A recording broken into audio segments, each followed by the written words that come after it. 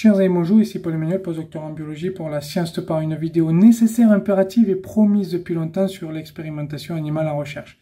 Je reçois aujourd'hui pour en parler Nicolas Marty, qui travaille pour une organisation qui demande la réduction ou la suppression de l'expérimentation animale et nous allons parler justement de ce point car c'est le cœur de la vidéo.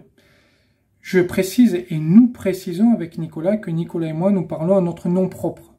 Nous ne parlons pas au nom d'institutions, d'organisations, de services vétérinaires, de je ne sais quoi, de laboratoires.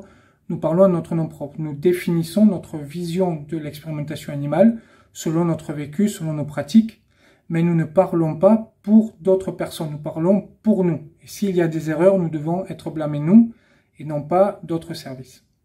Je précise que nous avons fait des erreurs, en tout cas j'ai fait des erreurs, et ça a été corrigé par des vidéos que vous aurez au long du débat où je dis voilà, j'ai fait cette erreur-là et je préfère corriger.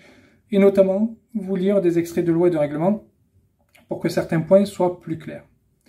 Vous trouverez en fin de vidéo, vous trouverez en fin de vidéo des vidéos bonus, extraits si vous voulez de vidéos bonus. La première, c'est pour la présentation de la chaîne de Nicolas et je vous invite d'ores et déjà à vous abonner. Il fait un énorme travail et je le remercie d'ailleurs du travail pour cette vidéo parce que nous avons, comme je vous dis, rajouté des vidéos, etc. Il y a eu beaucoup de travail après le débat. Il y a eu beaucoup de travail avant le débat sur la préparation des questions, sur les textes que nous avons recherchés, sur l'introduction, etc. Il y a beaucoup de travail après le débat. Donc, je le remercie vraiment pour le débat et le travail qu'il y a eu avant et après. Et ensuite, le, ensuite, cette présentation de la chaîne de Nicolas, vous avez euh, des, deux vidéos en fait où moi je parle et puis lui me répond sur la dignité des animaux. C'est un sujet dont on n'a pas parlé au cours du débat, il me semblait important de le rajouter. Donc on le rajoute à la fin sur la dignité des animaux, donc là vous avez deux vidéos, une où moi je parle et lui qui me répond.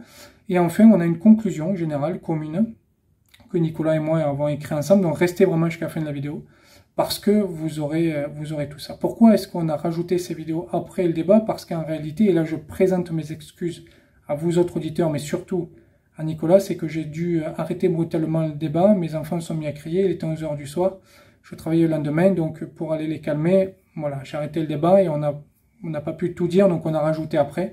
Et après, bon, pour les erreurs, on a corrigé euh, pendant la vidéo, sauf au moins une, en tout cas, que, que j'ai vue qui était flagrante. Euh, c'est que lorsque je parle de la formation continue en Suisse, je dis que c'est 4 journées sur 3 ans. En fait, c'est 4 journées sur 4 ans, une journée par an, minimum obligatoire par la loi. Ensuite, le chercheur peut faire plus, bien évidemment. Là, on vous parle de minimum de formation continue sur expérimentation animale, une journée par an. Donc, ça fait 7-8 heures à peu près par, par année. C'est pas non plus énorme, hein, vous voyez. 7-8 heures par année de formation continue sur expérimentation animale. Mais encore une fois, le chercheur peut, peut faire plus. Je remercie Nicolas pour euh, cette vidéo et vous allez voir d'ailleurs, euh, il y a quelque chose qui me semble important. Pourquoi est-ce qu'on fait cette vidéo et le débat qu'on a qui est très général? Le débat sur l'expérimentation animale, on a parlé des trois R, on a parlé d'éthique, on a parlé de philosophie morale, on a parlé de degré de sévérité, euh, on a parlé de la nécessité ou pas de l'expérimentation animale. Et c'était intéressant, je crois, et c'est le but aussi de la vidéo, de dire que le chercheur doit discuter avec l'associatif parce que associatif, malgré l'image que l'on peut avoir, nous autres chercheurs, vous verrez d'ailleurs que je tombe dans, dans des biais pendant ce débat, que, que j'ai corrigé une fois euh, en rajoutant une vidéo, mais que je n'ai pas corrigé partout, et vous pourrez me dire, vous, dans les commentaires, lorsque vous voyez qu'il y a des biais, c'est que l'associatif n'est pas opposé au monde de la recherche. Au contraire, il souhaite faire évoluer les mentalités. Et je vais vous donner un exemple très précis qui est celui du CO2. Nous avons parlé de la méthode d'euthanasie par CO2 et euh, je vous lis un texte de règlement qui montre que ça évolue si ça évolue, c'est par rapport à la recherche, c'est-à-dire que le chercheur, les chercheurs et la science, la, recherche permet de faire évoluer les choses, mais aussi parce que nous avons des questionnements du monde associatif. Donc c'est impératif le travail qu'ils font parce qu'ils permettent de faire évoluer et peut-être un jour de faire supprimer l'expérimentation animale. Ça, l'avenir le dira et je serai sans doute mort si un jour ça arrive, mais ça permet de faire évoluer les mentalités, le système, etc. Donc il n'y a pas que la recherche, c'est pas deux mondes opposés, c'est vraiment deux mondes qui doivent travailler en, communion. Et moi, je suis pour le travail en communion parce que, bien sûr, je ne suis pas contre l'expérimentation animale. Je la trouve très utile pour beaucoup et surtout, je l'explique en vidéo pour la recherche biomédicale et notamment sur les animaux génétiquement modifiés. Mais je pense qu'on peut euh, faire évoluer les techniques et puis euh, supprimer un certain nombre d'expérimentations que l'on fait, par exemple, avec des méthodes de substitution, etc. Et puis on parle de tout ça. Donc voilà, je voulais remercier Nicolas pour le travail aussi qu'il fait, et puis One Voice, qui est l'organisation pour laquelle il travaille, mais qui ne représente pas encore une fois ici en vidéo. Donc voilà, je, tenais à, préciser ça euh, en introduction. Je remercie, vous, euh, chers auditrices, auditeurs qui allez écouter ça. Mettez en commentaire ce que vous pensez. N'oubliez pas de partager. N'oubliez pas de vous abonner à la chaîne de Nicolas, la mienne aussi, à la Science de Pas. Vous pouvez aider financièrement à Science de Pas. Et je précise également que vous trouverez un certain nombre de liens en description, notamment pour les lois, etc. Donc, vous pouvez y aller, vous y référer. Voilà, si on a fait des erreurs, vous avez toutes les lois en bas. Donc, vous pouvez voir, vous pouvez voir ça. Je vous remercie. Je vous dis à très bientôt. Au revoir. Chers amis, bonjour. Ici Paul Emmanuel, postdocteur en biologie pour la science te parle. Aujourd'hui, je reçois Nicolas Marty qui va, qui va nous parler de son association et, de l'expérimentation animale. Donc j'ai préparé une petite, euh, voire longue introduction pour le sujet parce que je crois que c'est un sujet important. C'est un sujet, on verra, dont on ne parle pas souvent euh, pour les présidentielles. Et euh, peut-être que là, on commence à en parler, donc on verra avec lui ça. Alors pourquoi est-ce que j'ai invité Nicolas? Je vais, je vais l'expliquer un peu d'introduction, mais je crois que c'est quand même important de le, dire. Souvent, quand on, quand on voit des gens qui parlent d'expérimentation animale, ils parlent un peu dans le monde entier, et puis, et puis ça part un peu dans tous les sens. L'avantage de Nicolas, c'est qu'il parle sur ce qui se passe surtout en France, essentiellement en France, et donc c'est quelqu'un qui est très sourcé, très sérieux. Et euh, moi, j'ai beaucoup euh, apprécié ces vidéos. En tout cas, j'ai regardé ces vidéos. Je suis bien sûr pas d'accord avec tout, mais, mais ces vidéos et ces conférences sont euh, très techniques, souvent très sourcées, et ça, je trouve ça bien. Donc, je vais lire ma petite introduction et ensuite, on va, on va passer directement aux questions. Alors, l'expérimentation sur animaux est largement utilisée en recherche biomédicale, en recherche toxicologique, que certains mettent dans la case de recherche biomédicale, en recherche vétérinaire. Dans ce domaine, deux grandes visions que je vais très brièvement résumer s'opposent. La première est la vision réglementaire et ou légale que l'on résume par le sigle des trois R, comme mon invité détaillera. Cette vision indique que la dignité des animaux utilisés est respectée par les chercheurs si l'utilisation de son être est justifiée par des intérêts apportés à la société humaine. C'est ce que le droit suisse nomme la pesée des intérêts. Dans cette pesée des intérêts, la loi intègre la notion d'indispensabilité. Plus clairement, la législation suisse indique que la recherche peut utiliser un animal si et seulement si la société humaine y trouve un bénéfice, le plus souvent médical ou de sécurité alimentaire, et qu'il n'existe aucune autre alternative pour ces recherches à l'utilisation animale.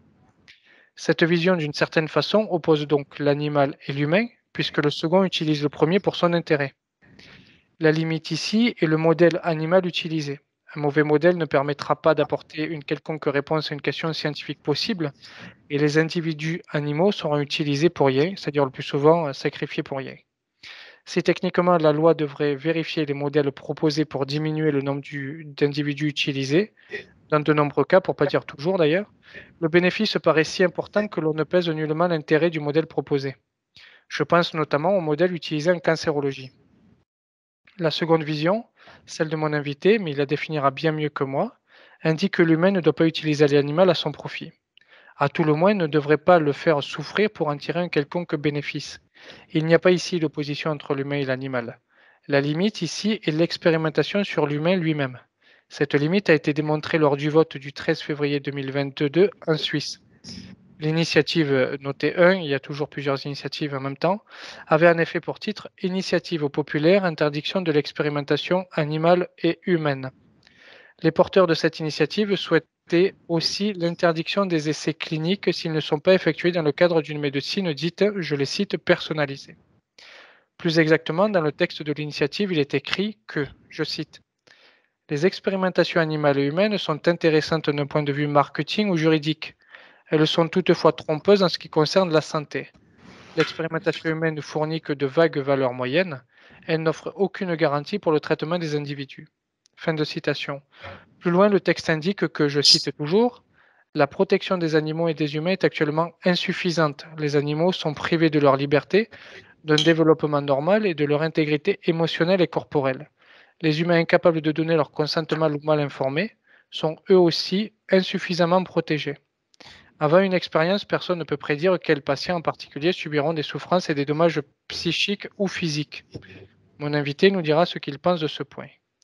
Une troisième vision ultra-minoritaire au sein d'un biologiste pur est que toute vie utilise toute vie pour son propre profit. La vie est continue et tout individu se sert d'un autre pour sa survie et la survie de son espèce via l'alimentation, la protection contre le froid, la santé. La limite de cette vision est que tout, même la pire horreur, devient acceptable. Alors, on ne parlera pas de cette troisième vision, ceci dit, parce que c'est en effet celle de biologiste pur, mais je crois qu'il n'y a pas grand monde qui, euh, qui l'a en tête, en tout cas. Mais tout n'est pas acceptable et tout doit être débattu. Aujourd'hui, avec Nicolas Marty, nous vous proposons un débat qui a pour question expérimentation animale en Europe. Alors pourquoi en Europe? Parce que moi je suis en Suisse et lui en France. Mieux l'encadrer ou l'interdire? Si l'on parle de l'Europe, c'est parce que Nicolas est un militant en France et moi un post-doctorat en Suisse. Mais on est tous les deux français, je pense, non? Oui. Voilà. Donc euh, la France est quand même le pays qui nous intéresse le plus. Ce qui va être intéressant ici est que Nicolas maîtrise les lois, leur historique et la philosophie derrière cette expérimentation animale. Moi, en tant qu'utilisateur d'animaux pour mes recherches, la technicité, la méthodologie sur les recherches animales. Euh, c'est-à-dire que les lois, tout ça, c'est pas, pas vraiment mon domaine. Hein. Ce que j'aime chez Nicolas, c'est sa précision et sa restriction à ce qui se passe en France. Je vais, je vais juste faire une parenthèse quand euh, je parle de loi, et c'est ce qu'on avait discuté un peu en privé. Nous, on reçoit en fait, avant de faire les licences, euh, les nouvelles réglementations, puis en fait, on, regarde en fonction des techniques qu'on veut utiliser dans les réglementations ce qui nous intéresse, mais en réalité, euh, il y a tellement de trucs et de retrucs que je ne suis pas du tout spécialiste là-dedans. Il, y, a beaucoup de, beaucoup de choses et je pense que tu, vous, connaissez mieux que moi. Mm. Avant, avant de lui laisser la parole et pour éclairer un peu mon positionnement, je vais vous parler de mes recherches intérieures actuelles. J'ai débuté ma carrière par un travail sur la mise au point de deux méthodes alternatives à l'utilisation animale. La première pour un organisme public, feu l'AFSAPS, devenu euh, la NSM après le scandale Mediator, que j'ai connu de l'intérieur, soit dit en passant. À l'époque, en Europe, on utilisait des lapins pour vérifier la quantité de pyrogènes sur des médicaments disponibles sur le marché. À savoir que les pyrogènes conduisent à des chocs anaphylactiques et donc au décès du patient. Aux États-Unis, ils utilisaient du sang de limule, qui est un crabe préhistorique. En collaboration avec une équipe de Genève et une équipe à Berlin, j'ai travaillé sur une méthode de quantification des pyrogènes sur du sang humain. Depuis 2012, cette technique est utilisée en France. Les lapins ne le sont plus. En tout cas, c'est la loi. Alors ça, je ne sais pas si c'est toujours le cas, mais en tout cas, c'est la loi. Je dis la loi, mais je ne vais pas vérifier pour le coup. Pour l'industrie pharmaceutique, la compagnie Pierre Fabre, j'ai travaillé sur une méthode de quantification de possibles interactions médicamenteuses. À l'époque, c'est-à-dire avant la mise en place de méthodes de remplacement, on utilisait des chiens. En interne, j'ai élaboré une méthode utilisant des cellules de foie humain provenant de donneurs souvent en mort cérébrale. Alors ça, c'est pareil, normalement, ils ont plus le droit d'utiliser les chiens, mais je n'ai pas vérifié s'ils font toujours en industrie pharma. Pendant ma thèse, j'ai travaillé sur du tissu humain et là, j'ai commencé à vouloir travailler sur des animaux. Pourquoi? Parce que dans le domaine de l'endocrinologie et de la physiologie, les domaines où je travaille, il y a une certaine frustration à ne pas pouvoir travailler sur un organisme entier. Les questions posées seront plus restrictives de fait et les réponses parfois inexistantes. J'ai donc cherché un postdoctorat euh, durant lequel je pouvais étudier un organisme entier. Aujourd'hui, je travaille sur rongeurs depuis trois ans et comme la plupart des chercheurs, je m'interroge sur nos pratiques, notamment les sacrifices. Ce qu'il faut dire quand même au début, c'est toujours très douloureux. Je ne vois pas les associations de défense des animaux comme des adversaires, mais au contraire comme des organisations complémentaires au monde de la recherche, à la condition qu'il y ait une compréhension du monde de la recherche, et à la condition de ne pas tomber dans certains extrêmes, ce qui, à mon sens, est le cas de l'initiative du 13 février, mais on en reparlera. Certains militants ont, lors des débats que nous avons eus sur les marchés, traité les chercheurs de génocidaires. On n'a pas eu le droit aux nazis, donc ça allait. En complémentarité, me semble, la complémentarité me semble difficile à voir en ce cas. Mais les chercheurs ont souvent aussi des mots très durs envers les défenseurs des droits des animaux. Je ne vais pas dire ce qu'on leur a dit, mais enfin. Mais les chercheurs ont souvent. Oui, ça, je l'ai déjà dit. Les échanges sont nécessaires. Et Nicolas et moi, euh, nous vous en proposons un aujourd'hui. Ainsi, vous comprenez que pour moi, l'expérimentation animale peut être substituable parfois, nécessaire parfois également. La notion de nécessité sera discutée. Comme toujours sur cette chaîne, l'interview a été préparée en avance. Donc, euh, la première question, euh, bon, je ne vais, je vais pas la lire en entier, mais vous la connaissez. C'est est-ce que vous pouvez vous présenter les associations dont vous avez été membre, dont vous êtes toujours membre, et euh, votre chaîne YouTube aussi la présenter, parce que ça, je pense que c'est vraiment intéressant que les gens s'abonnent et je précise tous les liens en description. Et d'ailleurs, si pendant le discours, vous me dites, tiens, il y a ce lien, il y a ce lien, ça peut être intéressant, vous me l'envoyez, comme ça, je le mettrai. Mmh la vidéo, vous le trouverez partout.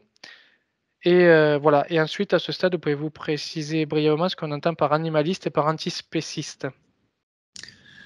Ouais, euh, bon déjà pour me présenter, du coup, voilà, je m'appelle Nicolas Marty. Euh, de formation, je suis musicologue et, compositeur, donc j'ai une thèse en musicologie que j'ai finie en 2018 et des diplômes de composition que j'ai fait au conservatoire que j'ai eu en 2016 en musicologie, ça fait que c'est pas du tout euh, ce qu'on appellerait des sciences dures euh, comme ça, mais j'étais dans des analyses, enfin j'étudiais l'écoute d'un certain type de musique, les musiques acousmatiques, euh, Donc ça m'a quand même porté à bah, déjà à passer six ans à faire une thèse et à faire un truc, un pavé de 1000 pages comme ça, et donc à devoir pas mal développer et analyser, lire énormément, énormément de choses, analyser des contenus et puis critiquer des méthodologies, euh, critiquer du point de vue épistémologique aussi, comment est-ce qu'on sait de quoi on parle quand on parle d'écoute.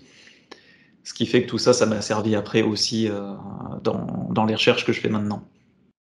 le côté animaliste, ça date de 2013, puisque je suis devenu vegan en 2013 concrètement, puisque ma, ma sœur était végétarienne depuis longtemps, euh, depuis qu'elle a 8 ans, elle était végétarienne et euh, notre père était éleveur, notre grand-père était éleveur et tout ça. Bon, ça fait que maintenant euh, les trois enfants sont véganes.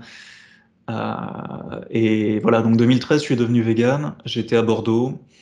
Et euh, bah, j'ai commencé à, aller voir sur les stands que tenait la seule association animaliste qui était à Bordeaux euh, à ce moment-là, c'est-à-dire ACTA, euh, une asso dont je suis devenu ensuite, en 2019, dans ces eaux-là, président. Et entre-temps, il y avait L214 qui est arrivé à Bordeaux aussi, il y a Anonymous for the Voiceless qui est arrivé à Bordeaux, qui font ceux qui mettent les masques d'Anonymous et qui montrent des vidéos, ça, ça existe un peu partout dans le monde. Et il y a le parti animaliste aussi qui a été créé. Donc à chaque fois, je participais un peu aux actions de, toutes les associations qui étaient euh, sur place. Et ensuite, voilà, j'ai été président euh, d'ACTA, euh, une association anti antispéciste bordelaise. Et j'ai été président jusqu'au 7 février dernier, puisque le 7 février dernier, bah, il y a One Voice, une association nationale française, qui m'a embauché comme chargé de campagne spécialisée sur l'expérimentation animale. Parce que du coup, entre-temps, euh, depuis 2019, en gros, euh, je fais des recherches sur l'expérimentation animale euh, pour le milieu animaliste que je faisais de manière complètement indépendante pendant, bah, pendant longtemps, pendant pas mal de temps, mhm. jusqu'à très récemment du coup. Sur le, la différence, il y a un truc que j'ai pas dit aussi, c'est que avec le parti animaliste, j'ai été candidat aux élections régionales au printemps dernier. Euh, bon, ça, ça j'ai pas été élu, on n'a pas fait partie des élus euh, comme ça, mais du coup, là, j'ai été investi dans le parti animaliste aussi euh, en tant que candidat. du coup, et sur la différence entre animaliste et antispéciste, concrètement, l'animalisme, c'est très très très large. L'antispécisme, ça va être une partie de l'animalisme peut-être, et encore avec quelque chose qui en sort aussi. animalisme, on s'intéresse aux animaux, on s'intéresse éventuellement aux droits des animaux, à leurs intérêts, on s'intéresse à les prendre en compte, à éviter de leur faire du mal, tout ça et à se battre pour que les gens ne fassent pas de mal aux animaux. L'antispécisme, c'est plus spécifique parce que c'est un courant de philosophie morale concrètement. Hein, ça c'est apparu au début des années 70. Euh, Richard Ryder, lui, il était anglais, je crois, et ensuite c'est Peter Singer, surtout un, philosophe australien qui a beaucoup popularisé ça quoi, dans son bouquin La libération animale. Et c'est vraiment euh, l'antispécisme, voilà, c'est vraiment ce côté philosophie morale à dire euh, bah, quand on analyse une situation, l'espèce, c'est pas un bon critère de différenciation de discrimination morale. L'espèce veut strictement rien dire sur ce qu'on peut faire ou pas moralement à un individu. Donc il faut trouver d'autres critères et ça fait que ça remet en cause la plupart des activités qu'on a actuellement qui utilisent des animaux parce que c'est des activités qu'on refuserait de faire si c'était des humains euh, qu'on faisait de cette manière-là. Donc voilà, je ne sais pas si, si vous avez des, questions plus précises pour avoir des détails sur l'antispécisme. J'avais une question presque un peu marrante, mais comment voit la famille le passage d'éleveur à, à, associatif comme ça? euh, je, bon, j'avais déjà pas beaucoup de contact avec mon père avant d'être vegan euh, pour d'autres raisons, mais actuellement j'ai plus de contact avec lui, mais pareil c'est pour d'autres raisons. D'accord. Alors vous avez parlé de philosophie morale. Euh, on va en parler un peu, un peu tout à l'heure. Je pense que c'est quelque chose d'important. Euh, c'est quelque chose d'important et j'ai une question un peu, euh, disons, qui me vient là comme ça.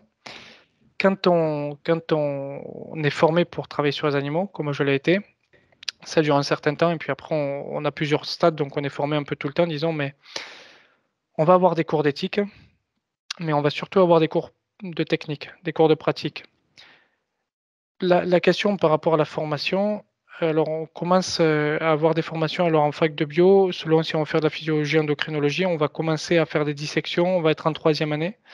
Donc on va commencer à avoir contacté les animaux en troisième année, mais d'abord ils sont morts, on ne fait que sur cadavre, et ensuite à partir du Master 1, on peut faire des manips sur animaux, souris, etc. selon le, parcours. C'est ce que moi j'ai fait en fait. J'ai eu un, parcours en physiologie, endocrinologie dès le début, donc j'ai eu ces, cours-là, mais c'est des cours qui sont techniques, etc. Est-ce que vous pensez qu'il faudrait introduire des cours de philosophie morale spécifiques, bien sûr, euh, sur, euh, sur l'animalisme dès la troisième année sur les parcours qui sont physiologie, endocrinologie, où on sait que beaucoup de, des étudiants vont travailler avec des animaux plus tard. Hmm. je pense même concrètement qu'il faudrait des cours de philosophie morale pour tout le monde euh, dès l'école primaire. Euh, et un peu tôt, non? parler... Non, je pense pas que ce soit tôt. Euh, il y a des... Bah, déjà, il y a des études, typiquement le dilemme du tramway, qui est un truc assez classique en philosophie morale, où on a, c'est juste, il y a, l'idée, il y a un tramway qui arrive comme ça, et il y a quelqu'un qui est attaché sur la voie qui va être écrasé. Et il y a une personne, qui est la personne qu'on interroge, euh, qui a la possibilité de tirer un levier, et ça va faire dévier le tramway et l'emmener sur une autre voie. Mais sur cette autre voie, bah, il y a quelqu'un d'autre. Et des fois, c'est des gens différents, ou alors il y a un nombre différent de personnes, ou mhm. alors c'est des conditions différentes. C'est un, une expérience de pensée assez courante en, philosophie morale. Et ça, c'est étudié aussi avec des enfants. Donc, ne serait-ce que ça, ça peut être intéressant sur. Euh, ça peut être des introductions à la philosophie morale qui peuvent être intéressantes. Et ça permettrait un peu. C'est quelque chose qui manque pas mal, en fait. Les gens ne réfléchissent pas explicitement moralement avant très tard, et la plupart des gens le font jamais, puisqu'on a si, on a au lycée en France, euh, je ne sais pas comment c'est en Suisse, mais en France, on a, au lycée en terminale des cours de mhm. philosophie. Mhm. où on va avoir un peu de philosophie morale. Ah, j'en ai aucun souvenir, mais a priori, il y en a un peu dans le lot. Le souci, euh, c'est voilà, ça arrive très tard, les gens n'ont rien à faire pour beaucoup et ça passe. Alors que s'il y avait ces cours de philosophie morale, comment réfléchir moralement, qu'est-ce qu'on prend comme critère pour faire des discriminations morales, parce qu'il y en a toujours besoin. On sait que la plupart du temps, on a le choix entre deux situations qui sont très loin d'être idéales. Donc c'est pas mal de savoir pourquoi on fait tel ou tel choix. Du coup, oui, clairement, je pense qu'il en faudrait très très tôt. Et en termes de formation, bah, de formation spécifique en expérimentation animale, déjà, moi, je pense que ça devrait plus exister puisqu'il faudrait pas d'expérimentation animale, mais en, supposant voilà, qu'on accepte que ça existe et que ça continue, oui, clairement, euh, des cours qui soient pas simplement des cours d'éthique, pas simplement des cours de 3R, bien-être animal, etc., mais vraiment des cours de réflexion morale, des cours de savoir euh, comment, dans quelle perspective, est-ce qu'on est dans des choses utilitaristes, déontologistes, est-ce qu'on mélange un peu les choses, est-ce qu'il y a des perspectives qui refusent strictement l'expérimentation animale et pourquoi euh, Parce que je suis pas sûr qu'il y ait dans ces formations-là des choses qui parlent spécifiquement d'antispécisme et des différents courants de l'antispécisme, par exemple. Alors, je, bon, moi j'ai fait mes études euh, générales, on va dire, entre la France et l'Italie. Mm. Par contre, j'ai fait mes formations sur euh, les animaux directement là, pour le travail. En Suisse, en Suisse alors, il y a je pense, une demi-journée, peut-être deux, trois heures, avec, euh, si je me souviens bien, mais parce que je parle de ça il y a quelques années quand j'ai fait ça, avec euh, une association euh, justement antispéciste, mais qui, en fait, en Suisse, quand on envoie la licence, il, va, y avoir une validation par le, par le, le vétérinaire, par le service vétérinaire du canton. Et ensuite, ça va passer en commission. En commission, il y a des chercheurs, il y a des professeurs et il y a un ou deux représentants d'associations antispécistes qui vont être là pour analyser la licence aussi et qui vont beaucoup poser des questions sur le nombre d'animaux utilisés, pourquoi est-ce qu'on, comment on peut réduire, essayer de voir s'il n'y a pas des, des choses qui peuvent être euh, qui peuvent être changées là. Et on a, euh, si je me souviens bien, 2-3 heures de cours avec eux. Mais sur une formation, euh, peut-être sur 40-50 heures, ça, disons qu'il y, a, moins. Il n'y a, pas beaucoup, disons. Après, c'est aux gens de, de s'intéresser un peu à ça aussi et de, et de chercher et de lire un peu, mais les informations de base, non, il n'y a pas tant que ça. Mhm. On va nous apprendre euh, l'histoire, l'historique de l'expérimentation animale. On va nous apprendre l'éthique, voilà, justement les 3 R, etc. Comment réduire le nombre d'animaux, comment remplacer, comment raffiner tout ça. Ça, ça va nous être expliqué. On va nous expliquer un certain nombre de méthodes de substitution, c'est-à-dire euh, comment on choisit un bon modèle, qu'est-ce qu'un bon modèle, est-ce qu'on ne peut pas le remplacer par un autre, comment on, on fait des recherches sur les méthodes de substitution, etc. Le but étant toujours de limiter le nombre d'animaux euh, utilisés. Ça va être surtout ça en fait qu'on a. Après, il y a tous les aspects techniques, bien sûr, l'anatomie de l'animal, comment on fait les sevrages, les breeding, etc. Enfin, ce dont l'animal a besoin après pour, pour, être, pour pouvoir être utilisé, pour, pour qu'il soit le mieux possible, disons. Et après, il y a quelques aspects réglementaires, bien sûr, la base, on va dire. Les durées qu'il faut pour telle ou telle manip, les, les, les, degrés de douleur aussi, etc. Mais de philosophie morale, soit j'ai raté le cours, soit. Le plus probable, c'est qu'il n'y en ait pas. soit j'ai pas, j'ai pas suivi ça, donc je pense qu'il n'y en a pas. Je pense qu'il n'y en a pas. Alors on va, on va continuer, euh, on va continuer sur les questions. Et là, on va parler d'administration d'abord. Alors, j'ai écouté votre, euh, votre présentation que vous avez fait cet été sur euh, l'opacité administrative. Rien que la présentation déjà montre une certaine opacité tellement technique. Les commissions, les, les recommissions, les trucs, c'est assez, assez complexe et complet. Et je mettrai le lien de la, de la vidéo en description. Donc, parce qu'on va pas détailler la vidéo ici, c'est pas, c'est pas le mm. but. Ce qui a déjà été fait, j'encourage les gens à le visionner. Mais par contre, j'ai des questions avec ça. Alors, vous avez une volonté de permettre au public d'avoir accès aux divers documents. On, parle surtout là du public français. Euh, donc, divers documents, c'est-à-dire comment est-ce qu'on fait une licence, quelles sont les licences, quels ont été le nombre de licences acceptées, quels ont été le nombre d'animaux utilisés, les degrés de, euh, douleur, etc.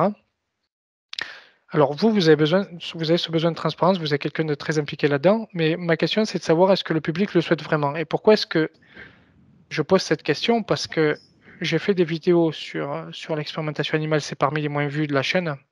Si je parle d'Abercan, je vais faire 10 000 vues. Si je parle d'expérimentation animale, je vais en faire 500. Donc, euh, il y a un truc là. Vous, vous avez fait cette vidéo-là qui est sur une chaîne qui est spécialisée aussi sur ces questions-là. Euh, j'ai regardé un peu quelques autres vidéos de la chaîne, elles font maximum 1000-1200 vues. Ça reste assez, assez faible pour YouTube. Alors, les votations du, 13 février dernier, donc ce jour-là, il y avait quatre votations. Moi, j'habite à Lausanne. Euh, je me baladais dans la rue de Lausanne. L'expérimentation animale, on n'en voyait aucune part, on n'entendait pas parler. On voyait les autres votations. Il y en avait une sur la fiscalité, une euh, sur je ne sais plus quel droit là, pour ouvrir un commerce, etc. Enfin, des votations qui et, et, une sur euh, les médias, savoir euh, comment on devait financer les médias, enfin vous savez ce qu'on paye pour la télé, etc. Donc ça, c'est un peu plus enthousiasmer les gens, l'expérimentation animale un peu moins.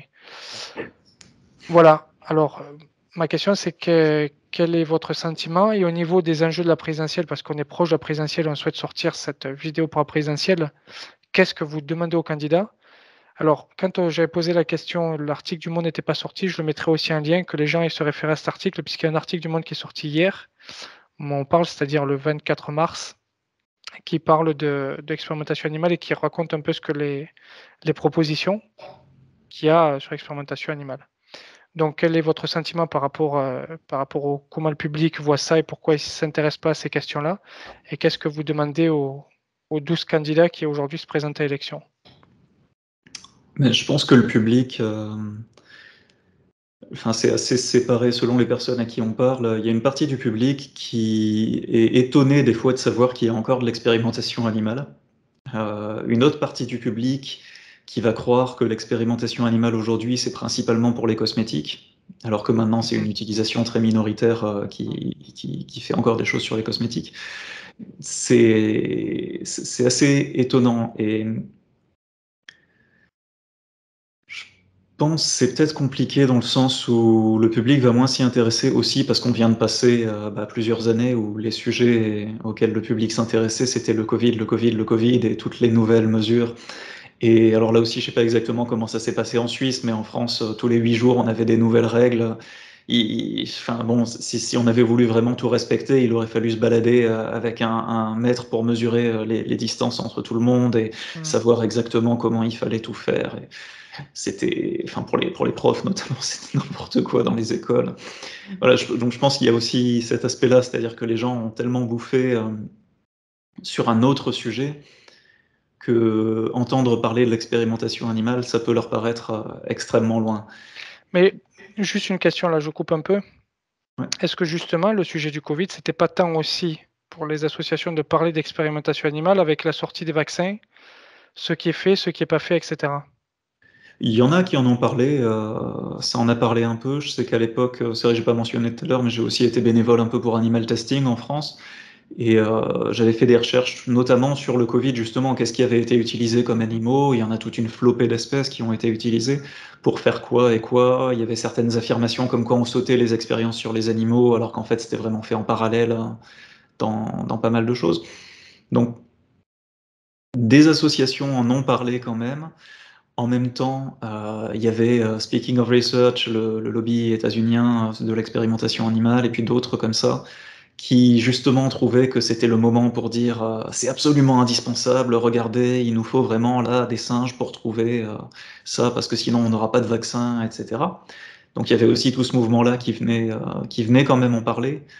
Mais derrière, ce dont les gens avaient envie, c'était pas forcément de savoir comment c'était fait ni rien. Ce dont les gens avaient envie, c'était de pouvoir sortir de chez eux et de pouvoir arrêter d'être contraints de faire les choses de telle ou telle manière je pense que c'est pour ça aussi, euh, ça se comprend très bien que les gens puissent avoir des, sentiments assez égoïstes en fait euh, dans une situation où on est tous contraints de manière où, dont on n'a pas du tout l'habitude. Je pense, euh, je pense qu'il y avait de ça. Mais bon, ça, ça, en a parlé quand même. D'accord. Et pour les. Non, je ne savais pas que ça avait parlé. Moi, j'en avais parlé un peu quand j'ai fait des vidéos sur les vaccins où j'avais dit que le, le vaccin contre SARS-CoV-1 avait déjà été testé sur animaux depuis 2006. Et ensuite sur euh, Hold On, quand ils avaient parlé des essais sur les rats, euh, le, reportage, on va dire, enfin pseudo-reportage complotiste, là où vous avez parlé des essais sur les rats, et qui avait, qui, où ils en parlaient assez mal, donc j'avais cherché un peu ce qui avait été fait, puis j'avais dit, mais sur le, sur le documentage et de banquet, qui, la vidéo fait deux heures, euh, cette partie fait peut-être 40 secondes, donc c'était pas hmm. un truc non plus non plus fou. Et, pour les candidats, voilà, donc on a 12 candidats.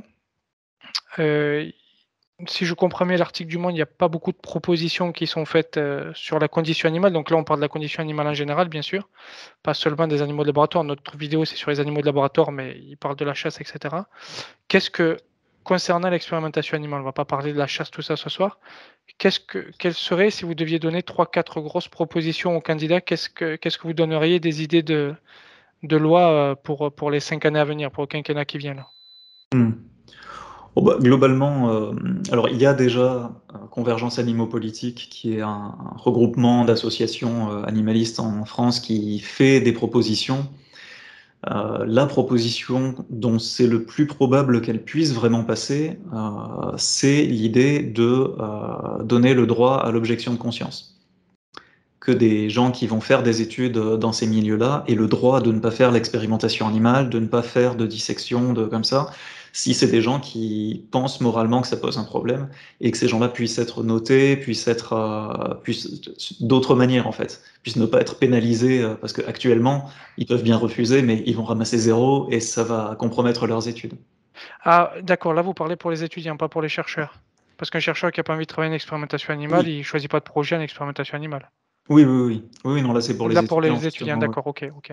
Non, ça, d'accord. Euh, si, si, les étudiants commencent à avoir plus de choix là-dessus, euh, ça peut permettre de développer plein de choses, notamment les méthodes alternatives pour l'enseignement. Mm-hmm. Puisqu'en Angleterre, ça a très largement réduit, il n'y en a quasiment pas. En France, on en a encore des animaux qui sont utilisés dans l'enseignement supérieur et la formation. Parfois, on se demande comment c'est possible qu'il y ait une telle différence? Et la, question a été posée au ministère et qui ont répondu par une pirouette, comme ils ont un peu l'habitude de faire. Mais, mais, voilà, donc il y a, y a, cette proposition-là, l'objection de conscience, mhm. euh, qui serait déjà un énorme premier pas.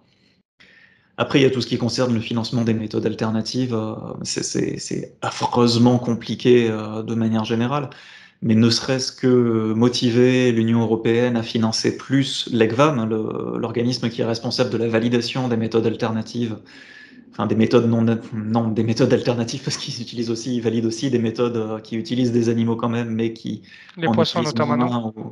voilà, enfin ils vont valider ça, des choses ou alors avec des tissus animaux, etc. Mm.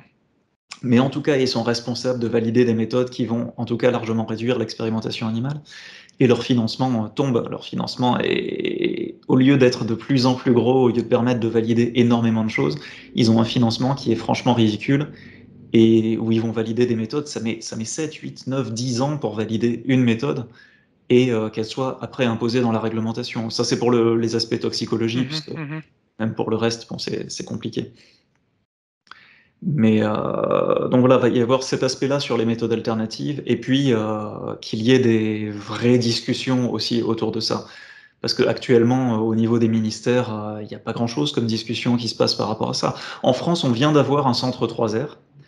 On ne sait pas encore du tout ce que ça va donner, si ce n'est que les premiers échos de la manière dont ça va être géré ne donnent pas grand espoir, mais, bon, peut-être qu'on va pouvoir discuter avec eux et voir que ça aille dans un bon sens. Et euh, donc voilà, il y a, ça, il y a ce côté-là sur les méthodes alternatives. Et ensuite, il y a tout ce qui est, euh, puisqu'évidemment, enfin, si je devais fournir une euh, quelque chose, une mesure que j'aimerais, la mesure que j'aimerais le mm-hmm. plus que les candidats posent là-dessus, c'est que bon, on sait très bien que interdire l'expérimentation animale demain, c'est pas réaliste.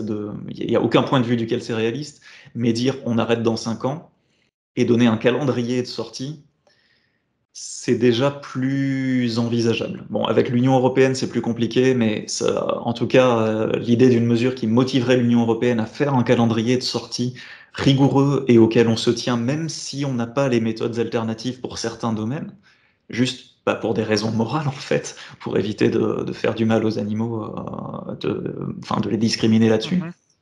là, là, ce serait magnifique. Sans ça. Mais est-ce qu'il n'y a pas le risque si un pays où l'Union européenne donne un calendrier en disant dans 5 ou 10 ans on sort de l'expérimentation animale, que certaines euh, recherches se fassent à l'étranger, à l'extérieur de l'Union européenne, et finalement que les animaux soient traités dans des conditions qui sont peut-être pires que ce qui peuvent être traités en Europe bah, Que les choses puissent se faire de manière euh, illégale ou alors puissent se faire dans d'autres pays euh, dans, dans, de mauvaises conditions, c'est jamais un bon argument pour légaliser les choses sur place. je suis d'accord avec le fait que ce soit mauvais. Non, je suis d'accord que c'est un mauvais argument pour, pour la légalisation ici, mais techniquement, c'est ce qui peut se passer. C'est une possibilité, oui. Et d'ailleurs, enfin, c'est. Je me rappelle plus bien, mais euh, dans l'histoire de l'abolition de l'esclavage en Grande-Bretagne, euh, il y a eu comme ça un passage, c'est-à-dire euh, on interdit une partie des choses, on interdit, je crois que c'était interdire la traite, la traite négrière, et finalement, il y a eu plus de traite après l'interdiction que euh, avant l'interdiction. Mais du coup, c'était de la traite qui était illégale. Mais ensuite, il a mhm. fallu faire appliquer, ça a permis de réduire, ça a permis de mettre une pression de différentes manières. Mais du coup, voilà, ça, c'est, il, fallait quand même l'interdire. C'était quand même quelque chose qu'il fallait absolument interdire. Alors, juste pour, pour, pour venir à l'illégalité, euh, pour l'expérimentation animale, en fait, ça coûte tellement cher d'avoir des animaux que si on interdit en fait l'expérimentation animale, par exemple sur 5 ou 10 ans, les budgets de recherche seront un peu diminués puisqu'il y, y, a quand même la nourriture des animaux, la litière, le, stockage, la ventilation, la protection, donc ça, ça coûte euh, assez cher. Qu'il n'y aura pas d'illégalité, en tout cas pas en Europe, parce que les chercheurs ne pourront pas le faire avec les fonds qu'ils auront. Ce qu'ils pourront faire, c'est peut-être euh, certaines parties délocalisées ou pas. Il est possible, ceci dit, que ça accélère la, la formation de méthodes alternatives, puisque certains chercheurs seront peut-être pieds au mur et diront il faut quand même maintenant qu'on avance plus vite. Ça, je suis d'accord avec l'argument là. Je ne crois pas qu'il y ait d'illégalité à cause des, sous et du, du, coût en fait de la recherche euh, sur les animaux, mais par contre qu'il y ait plus de collaboration avec la Chine, avec l'Inde ou avec euh, l'Iran sur ces questions-là, ça c'est possible. Oui, oui, bah, c'est des choses qui existent déjà, mais qui sont, qui seraient effectivement possibles. En même temps, euh, comme je disais, c'est pas une raison pour refuser euh, de le faire. Après, de toute façon, c'est une situation dont on sait qu'elle est malheureusement euh, utopique de, de dire on sait qu'il n'y aura pas un calendrier bientôt mm. comme ça. Mais bon, si j'avais quelque chose à demander aux candidats, c'est effectivement d'aller dans ce sens-là, de vraiment pousser pour qu'il y ait un calendrier de sortie très clair, très, très explicite et avec des étapes notamment parce que bah, on voit sur l'interdiction de, euh, des tests euh, in vivo pour les mhm. cosmétiques, mhm. ça a énormément aidé le fait qu'il y ait cette demande d'interdiction, le fait qu'ensuite il y ait un calendrier, même s'il a été repoussé plusieurs fois, mhm. euh, ça a énormément aidé au développement des méthodes alternatives pour ces tests-là. On n'a toujours pas fini avec ça. Il y a encore certains tests qui sont sur des ingrédients cosmétiques pour, pour d'autres, enfin, via REACH, via, via d'autres réglementations, du coup. Mais n'empêche que ça a énormément aidé d'avoir ce calendrier. Donc ça, ça ce serait pas mal. Euh, après, euh, le, dernier truc pour les candidats, la dernière, euh, le dernier gros domaine sur mhm. lequel il y aurait des choses à demander, c'est tout ce qui est réglementation et transparence. Bon, la transparence, c'est clair, c'est-à-dire c'est aberrant aujourd'hui qu'on n'ait pas accès au rapport d'inspection des laboratoires alors que c'est en plus la, majorité, la grosse majorité des laboratoires en France, c'est des établissements publics. C'est CNRS, c'est INSERM, c'est des choses comme ça, c'est des universités. Et les, bah, les DDPP, donc les, services vétérinaires publics qui sont en charge d'inspecter tout ça, sous la tutelle du ministère de l'Agriculture, eux euh, ont vraiment euh, des réticences à donner ces documents-là. Il a fallu quand même passer euh, bah, que, je passe au tribunal pour différentes choses, pour réussir à avoir ça, et puis que les associations, quand elles veulent le faire, c'est pareil. Euh, comme ça, à chaque fois, c'est du tribunal pour réussir à obtenir des documents qui, normalement, sont déjà notre droit. Donc, il y, a vraiment quelque chose à faire du côté de la transparence. Et sur la réglementation, bah, c'est aussi, euh, là, aussi, je connais pas exactement en Suisse comment ça se passe. En France, les, les établissements, ils sont censés, normalement, il y a un tiers des établissements qui doivent être inspectés chaque année. Mhm. Donc euh, sur 650 établissements, il y a à peu près 300 inspections par an. Euh, donc ça, c'est respecté et euh, c'est même un peu plus probablement parce que les établissements qui utilisent des primates, des chiens ou des chats doivent être inspectés tous les ans. D'accord. Le souci, c'est que c'est très très très très très varié. quoi. J'ai des rapports d'inspection qui datent d'il y a plus de 5 ans et qui sont pourtant les derniers rapports d'inspection de mhm. cet établissement-là. Et donc c'est un établissement qui va être inspecté uniquement pour son agrément et ensuite qui redemande à être inspecté pour le renouvellement d'agrément. Et qui n'est pas inspecté pendant 5 ans. Et même pas inspecté pendant 3 ans, dans la mesure où il n'y a quasiment jamais de sanctions. C'est-à-dire en, sur 2013-2017, sur à peu près 1500 inspections, du coup, il y a eu 172, non 72 mises en demeure. Donc des mises en demeure, c'est en gros quand les établissements ont énormément de non-conformités mhm. et des non-conformités très problématiques, donc vraiment des choses où ils ne respectent pas la loi, ils ne mhm. respectent pas la réglementation. Il y en a eu 72 comme ça qui ont eu des mises en demeure, et sur les 72, il y en a deux qui ont donné lieu à des suites pénales, donc à des amendes éventuellement. Et sur 1500 inspections, alors que tel que je vois aujourd'hui, sur 200 rapports d'inspection que j'ai, il y a des non-conformités partout. Et notamment sur la formation des personnels, les personnels suivent pas la formation continue qu'ils sont censés suivre dans plein de cas.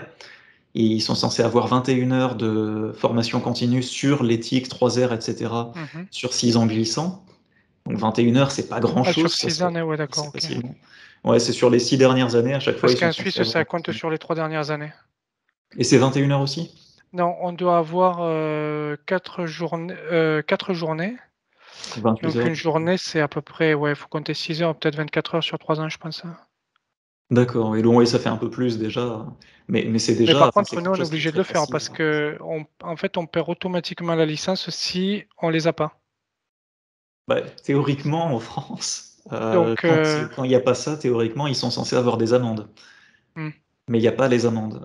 C'est là aussi, en fait, euh, là où vous dites c'est impossible, enfin on, peut pas, on est obligé de respecter, mais du coup, est-ce que c'est vraiment appliqué? Si des gens l'ont pas, est-ce que ce sera systématiquement appliqué quoi?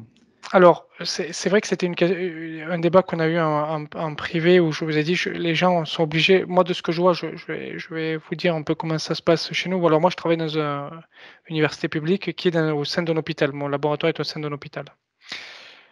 On a les services vétérinaires, je dirais, qui viennent à peu près tous les trimestres. Hein. On en a eu un aujourd'hui. Hein. En plus, le jour où on fait ça. Mais il vient tous les trimestres, donc à peu près quatre fois l'année. Et il surveille, euh, donc c'est toute une journée, puis il surveille euh, à peu près tout. Euh, bon, l'animalerie est assez grande, donc il y a les rats, les souris et les poissons. Donc ils surveillent les trois animaleries.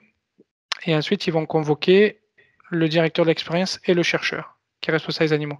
Sachant qu'en Suisse, vous avez sur les cartes le directeur de l'expérimentation plus le chercheur qui s'occupe des animaux. Donc en fait, s'il y a un problème, on convoque le chercheur aussi qui s'occupe des animaux. Donc même moi qui suis postdoc ou PhD suivant, je peux être convoqué par le service vétérinaire pour me dire là ça ça va pas, ça ça va pas, vous avez une semaine pour régler le problème. Euh, donc euh, si on règle pas le problème, on perd la licence. Enfin au moins en tout cas la personne qui, s'occupe directement des animaux, donc un postdoc euh, peut s'arrêter ou une PhD peut s'arrêter. Donc en général on est quand même très très très suivi là-dessus. Et ensuite, nous, on a un centre directement au sein de l'hôpital où si on a des questions à poser, on peut poser. Donc c'est un centre, euh, alors c'est pas un centre 3R, c'est un centre, euh, ce qu'ils appellent Animal Facility, donc c'est tout ce qu'ont les machineries, puis c'est eux qui ont les lois, etc. aussi, si on a besoin de, de dire, attends, euh, est-ce que j'ai encore le droit d'utiliser cette méthode, etc. Donc on va leur poser des questions, donc en fait on est, on est toujours un peu en permanence dans le, dans le bain, et puis on peut poser des questions des questions en permanence. Euh, alors, je ne sais pas si c'est plus surveillé qu'en France, après dans le privé ou pas, parce que j'ai jamais travaillé dans le privé en Suisse, mais dans le public, de ce que je vois, en tout cas, c'est suffisamment surveillé. Par contre, euh, ce que je pense, euh, c'est pas une proposition que vous faites, mais je pense que ça peut être bien. Moi, je, suis vraiment assez pour ça. Ce serait que les inspections se fassent aussi avec des, associations comme vous. Hmm. C'est-à-dire que les vétérinaires et les associations viennent ensemble parce que comme je l'ai dit en introduction, je ne crois pas que le monde de la recherche et le monde associatif on soit en opposition et on doit se tabasser toute la journée. Je pense au contraire que si on travaille ensemble, on, se sentira mieux, on arrivera mieux. Donc je pense que si les inspections se font avec les services vétérinaires plus les services associatifs, euh, je pense que c'est mieux. Ça pourrait aider sur plein de points. Je pense euh. que c'est mieux et, puis euh, et puis le chercheur aussi, je pense, se sentira mieux et prendra conscience peut-être de certains trucs qu'il a fait qui ne devrait pas ou ce genre de trucs. Mais si c'est vraiment des inspections, parce qu'il y, a quand même la différence à faire entre les inspections où on est prévenu deux semaines à l'avance que la personne va venir tel jour et on montre un peu ce qu'on veut ou on prévoit pour que ce soit montré, et puis des inspections où les gens peuvent venir alors même quand on dit inspection inopinée en France, euh, les gens sont quand même prévenus la veille ou l'avant-veille euh, qu'il va y avoir un, inspecteur ou une inspectrice qui va venir. Donc ça, laisse quand même le temps de préparer des choses. Et ça, j'ai des, témoignages de gens qui ont, bah, qui ont, fait leur, euh, leur doctorat ou, leur postdoc mmh. dans des labos en France et qui disent voilà, bah, va y avoir l'inspecteur qui va arriver la semaine prochaine. Du coup, fais gaffe au nombre de poissons, fais gaffe à ce que tout soit bien nettoyé, etc. Et ça, ça c'est une réflexion qui est vraiment problématique. C'est-à-dire, en gros, on va être inspecté, fais gaffe. Mais c'est pas ça. C'est-à-dire, ça laisse vraiment le temps de préparer, ça laisse vraiment le temps. Euh, c'est c'est comme ah ben je vais à l'école, euh, je vais avoir un contrôle, il faut que je révise pour le contrôle. Mm. Et le reste du temps, bah non, c'est pas la peine, il n'y a pas de contrôle. Mais non, non, non, c'est ça, enlève quand même beaucoup d'intérêt. Donc des inspections inopinées, des possibilités de, de visites inopinées de la part d'associations. ce ne sera pas des associations antispécistes, puisque globalement, le, le militantisme antispéciste, vraiment, c'est pour la prise en compte des intérêts des animaux de manière équitable. Ça ne va pas être des gens qui vont... Enfin, ça apportera pas grand-chose forcément pour eux d'aller visiter dans un labo. Il faut aller plutôt dans les milieux animalistes euh, qui, qui vont s'intéresser plus facilement à faire évoluer la réglementation. Des fois, ça se mélange, hein, mais c'est juste euh, pour dire. Mais c'est un peu votre cas là, non? C'est-à-dire? Bah, De vouloir faire euh, améliorer la réglementation, évoluer la réglementation. Oui, oui, c'est seulement faute de, c'est faute de pouvoir faire un monde antispéciste. J'aimerais bien que la réglementation au moins évolue pour qu'on soit à quelque chose euh, qui soit au moins vaguement acceptable. En tout cas, qui soit moins problématique. Oui, alors pour les inspections euh, en Suisse, enfin en tout cas chez nous, c'est inopiné puisque par exemple là, on a été prévenu 20 minutes avant quoi. D'accord. C'est-à-dire que les services vous appellent, vous disent dans 20 minutes on est là, vous êtes là vous, vous n'êtes pas en congé, au moins qu'on vienne pas pour rien, non non, ça on est là, ok, on arrive. Hein. Donc euh, on est tous les trois mois comme ça? Tous les trois mois, ouais. Et c'est des trucs qui donnent lieu à des, à des rapports d'inspection du coup? Je ne sais pas. Parce que c'est ouais, c'est là aussi. Est-ce que c'est le même type d'inspection qu'il va y avoir Ça, je sais pas. Je ne suis pas d'administratif. Moi, je vous dis juste euh, ce que je vois. Euh, et, quand il y a un souci avec un animal ou pas, ou un truc, euh, le chercheur est directement convoqué. Donc, est-ce mm. qu'après, il y a un rapport derrière sur ce qu'on dit, ce qu'on a fait? Je n'ai aucune idée. D'accord. Parce que là, enfin, nous, donc, il y a les rapports d'inspection, j'en ai, vu, j'en ai vu un paquet maintenant. Mm-hmm. Mais quand il y a des soucis, il y a des lettres qui viennent après. Enfin, l'établissement reçoit le, le rapport d'inspection avec une lettre. S'il y a des non-conformités en lui disant voilà, il faudrait arranger ça, ça, ça mais ensuite, c'est tout à fait possible que l'établissement ne soit pas réinspecté pendant trois ans. Et du hmm. coup, qui est même pas la seule vérification, ça va être oui, on a fait ça, hop, on renvoie une lettre et c'est bon, bah, c'est bon, ils ont fait ça, tant pis. J'ai vu un rapport d'inspection, c'était euh, ah, bah, le, projet n'a pas encore été euh, déposé au comité d'éthique, mais euh, c'est mieux que la dernière fois, parce que là, il est rédigé, ils sont en train de l'envoyer. Voilà, alors que la fois d'avant, le projet était commencé, un projet qui mm. utilisait des animaux comme ça a été commencé, sans avis du comité d'éthique, sans autorisation du ministère, donc complètement illégalement, du coup, et euh, ils avaient eu une non-conformité majeure, mais qui n'avait pas été punie par des sanctions pénales. Alors là, je, pense que, résoudre ça. Je pense que ce qui joue en Suisse, c'est la concurrence entre cantons, peut-être alors, pour euh, que ce soit mieux respecté. C'est-à-dire que quand nous, on envoie une licence, euh, moi je suis dans le canton de Vaud, j'envoie d'abord aux autorités du canton de Vaud, le canton de Vaud va passer par Berne. Et Berne, c'est Berne qui va faire le retour. Et en fait, euh, comme il y a une concurrence entre cantons, je pense qu'ils essaient de faire les choses en règle pour pas que. Parce que Berne peut venir d'un tel canton pour dire euh, que c'est ces conneries. Et je pense qu'il y a un peu cette peur aussi, parce que chaque canton en Suisse est quand même un peu euh, opposé à l'autre d'un point de vue de la recherche au niveau financier, du, même plein de, si on regarde le canton de Vaud et de Genève sur le commerce, etc. À l'époque, on parlait du Covid, je vous donne juste cet exemple où à l'époque les commerces du canton de Vaud étaient fermés par mm. obligation Covid, mais ceux de Genève étaient ouverts. Donc les gens partaient du canton de Vaud pour aller faire les courses à Genève et revenaient du canton de Vaud avec la bouffe, etc. Le canton de Vaud, ça leur a pas plu. Ils ont ouvert les commerces. Au moment où le canton de Vaud ouvrait les commerces, c'est le canton de Genève qui a fermé un certain temps. Donc, je mhm. pense qu'il y a un peu ça aussi qui joue euh, en Suisse, qui fait que peut-être c'est. Mais encore une fois, je suis dans le public, je ne suis pas dans le privé. Je ne sais pas comment ça se passe après dans le privé, mais je dis ce que. Euh. Je dis ce que je vois au sein établissement. Par contre, pour les rapports d'inspection, je ne suis pas administratif, donc je n'ai aucune idée. Ça, je ne sais pas après ce qu'ils font avec ça. Hmm.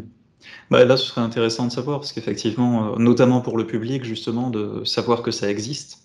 En fait, mhm. c'est aussi pour ça, euh, quand vous demandiez tout à l'heure pourquoi le public, est-ce que le public a vraiment envie de savoir ça, enfin de connaître ces documents, d'avoir ces trucs-là bah, Déjà, il faut qu'ils sachent qu'ils existent, ces documents-là, euh, et qu'est-ce que ça peut leur apporter, il faut qu'ils sachent ce que ça peut leur apporter si c'est des documents qui sont publiés directement, c'est facile, ils peuvent aller consulter. Mhm. Si c'est des documents qui, comme en France, euh, il faut demander, il faut attendre un mois, il faut saisir la commission d'accès aux documents administratifs, il faut attendre deux mois d'avoir sa réponse, il faut aller au tribunal, etc. Ça peut coûter cher, c'est long, c'est spécialisé.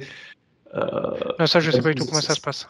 pour le coup, que là, dans la plupart des pays, il y a des lois. Euh... Moi, en fait, c'est aux, États-Unis, il y a le Freedom of Information Act. Mhm. Mhm. qui est, là-dessus. Et il y a des lois de ce type-là qui sont un peu dans tous les pays. Certainement en Suisse, il y en a aussi. Et donc, euh, là, je ne peux pas aider parce que je n'ai aucune idée. Hmm. Je n'ai aucune idée. Moi, je, vais dire, je fais mon travail du mieux que je peux euh, par rapport aux règles qu'il y a. Après, il y a des choses que, je, que j'ai refusé d'appliquer. On parlait de la guillotine, par exemple, hmm. euh, en privé, là. Moi, pendant trois ans, c'était utilisable et j'ai refusé d'appliquer la guillotine. Ben, voilà, après, je pense que le chercheur aussi voit ce qu'il veut faire ou pas. Il y a des méthodes qui peuvent lui paraître plus, euh, j'allais dire humaines, entre guillemets, j'en sais rien, mais. Hmm. Disons ça. Oui, oui. Quand on voit le nombre de méthodes de mise à mort qui sont autorisées, euh, enfin, on a un tableau dans la réglementation française avec des petites croix selon le type d'animal, selon plein de choses comme ça. Alors que finalement, le surdosage d'anesthésique, c'est quand même euh, beaucoup plus clean comme méthode de mise à mort que tout ce qu'on peut imaginer d'autre. C'est ce que moi j'utilise, hein, en tout cas pour les manips.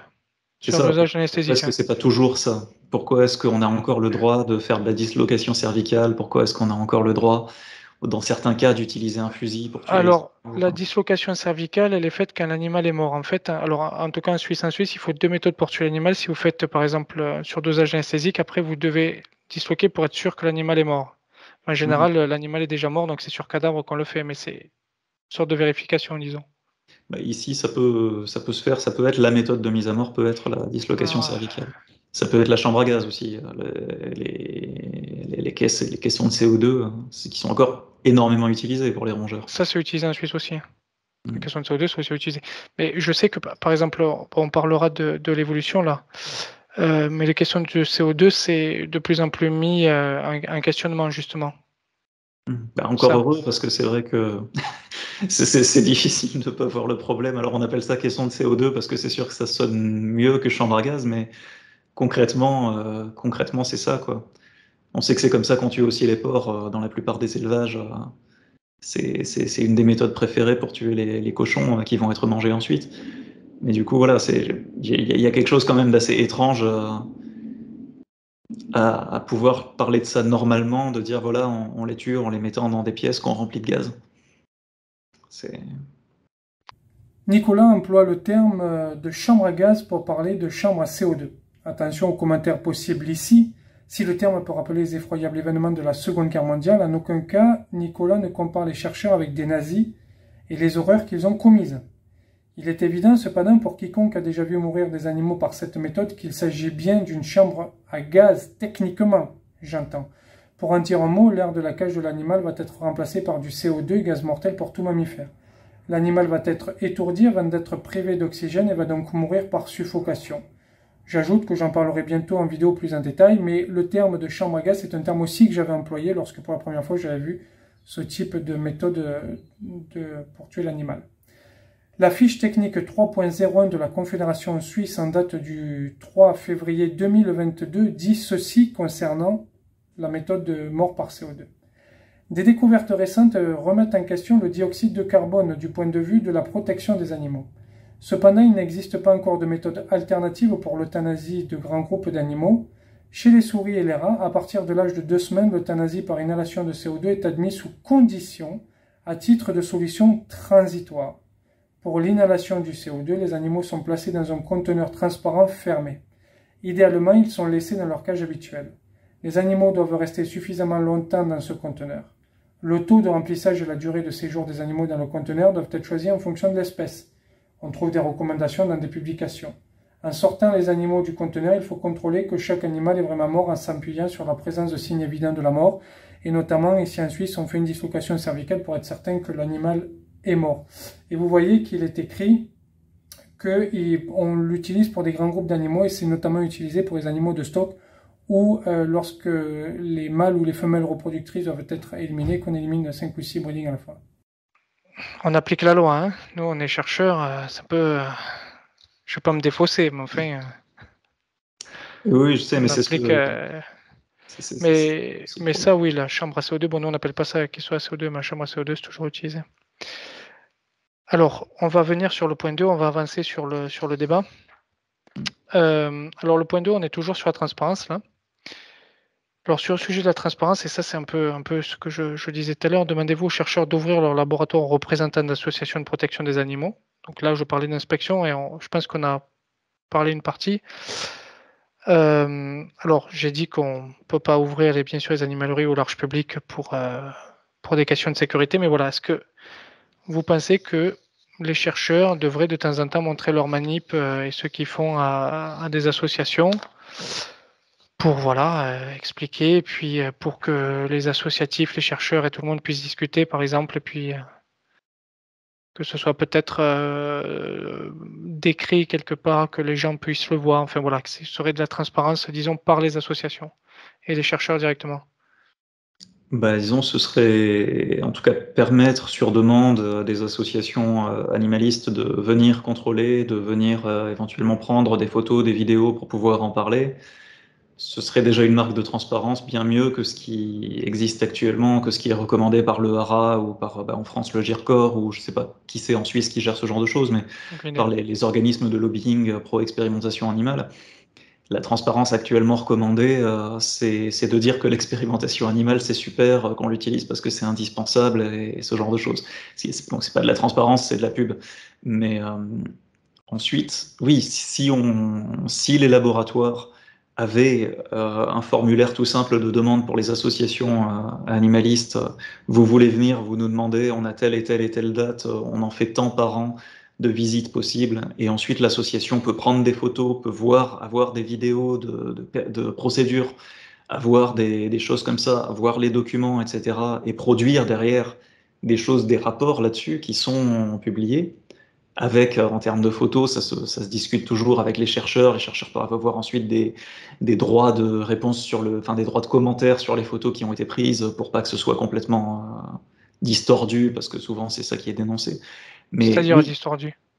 Bah, C'est-à-dire que quand il y a des vidéos qui sont prises ou des photos qui sont prises et commentées par les associations animalistes, souvent on va avoir les gens chez le GIRCOR en France euh, qui vont dire Ah mais oui, mais c'est n'importe quoi. Ils disent que c'est ça, mais en fait, bah, typiquement, il y avait une photo d'un primate euh, en train de subir une tuberculination. Euh, une asso qui mettait ça. C'est les, les, les, mesures pour voir s'ils ont la tuberculose. D'accord. Et donc c'est assez affreux comme photo, euh, c'est assez dégueulasse quoi. Et il y avait la photo et euh, le président du GERCOR qui dit mais oui mais ça c'est n'importe quoi, c'est un acte vétérinaire. Alors les gens ils présentent ça comme de la vivisection alors que c'est un acte vétérinaire. Bon, sauf qu'en fait, ils font ça quand même pour vérifier qu'il y a la tuberculose ou pas, et la tuberculose, c'est quand même une maladie principalement de primates captifs. Et des fois, c'est pour étudier la tuberculose qu'ils les infectent avec, et donc les tuberculinations, c'est aussi dans le cadre de procédures. Donc, euh, c'est toujours plus compliqué. Mais du coup, c'est juste dire, et ça, c'est quelque chose que j'avais proposé il y a deux ans quand je lui avais parlé au président du GIRCOR, où je lui avais dit, moi je viens dans un laboratoire, il n'y a pas de souci, vous me laissez prendre les photos, etc. Et puis ensuite on coécrit quelque chose et on fait un commentaire où chacun a le droit de parler et on fait quelque chose comme ça.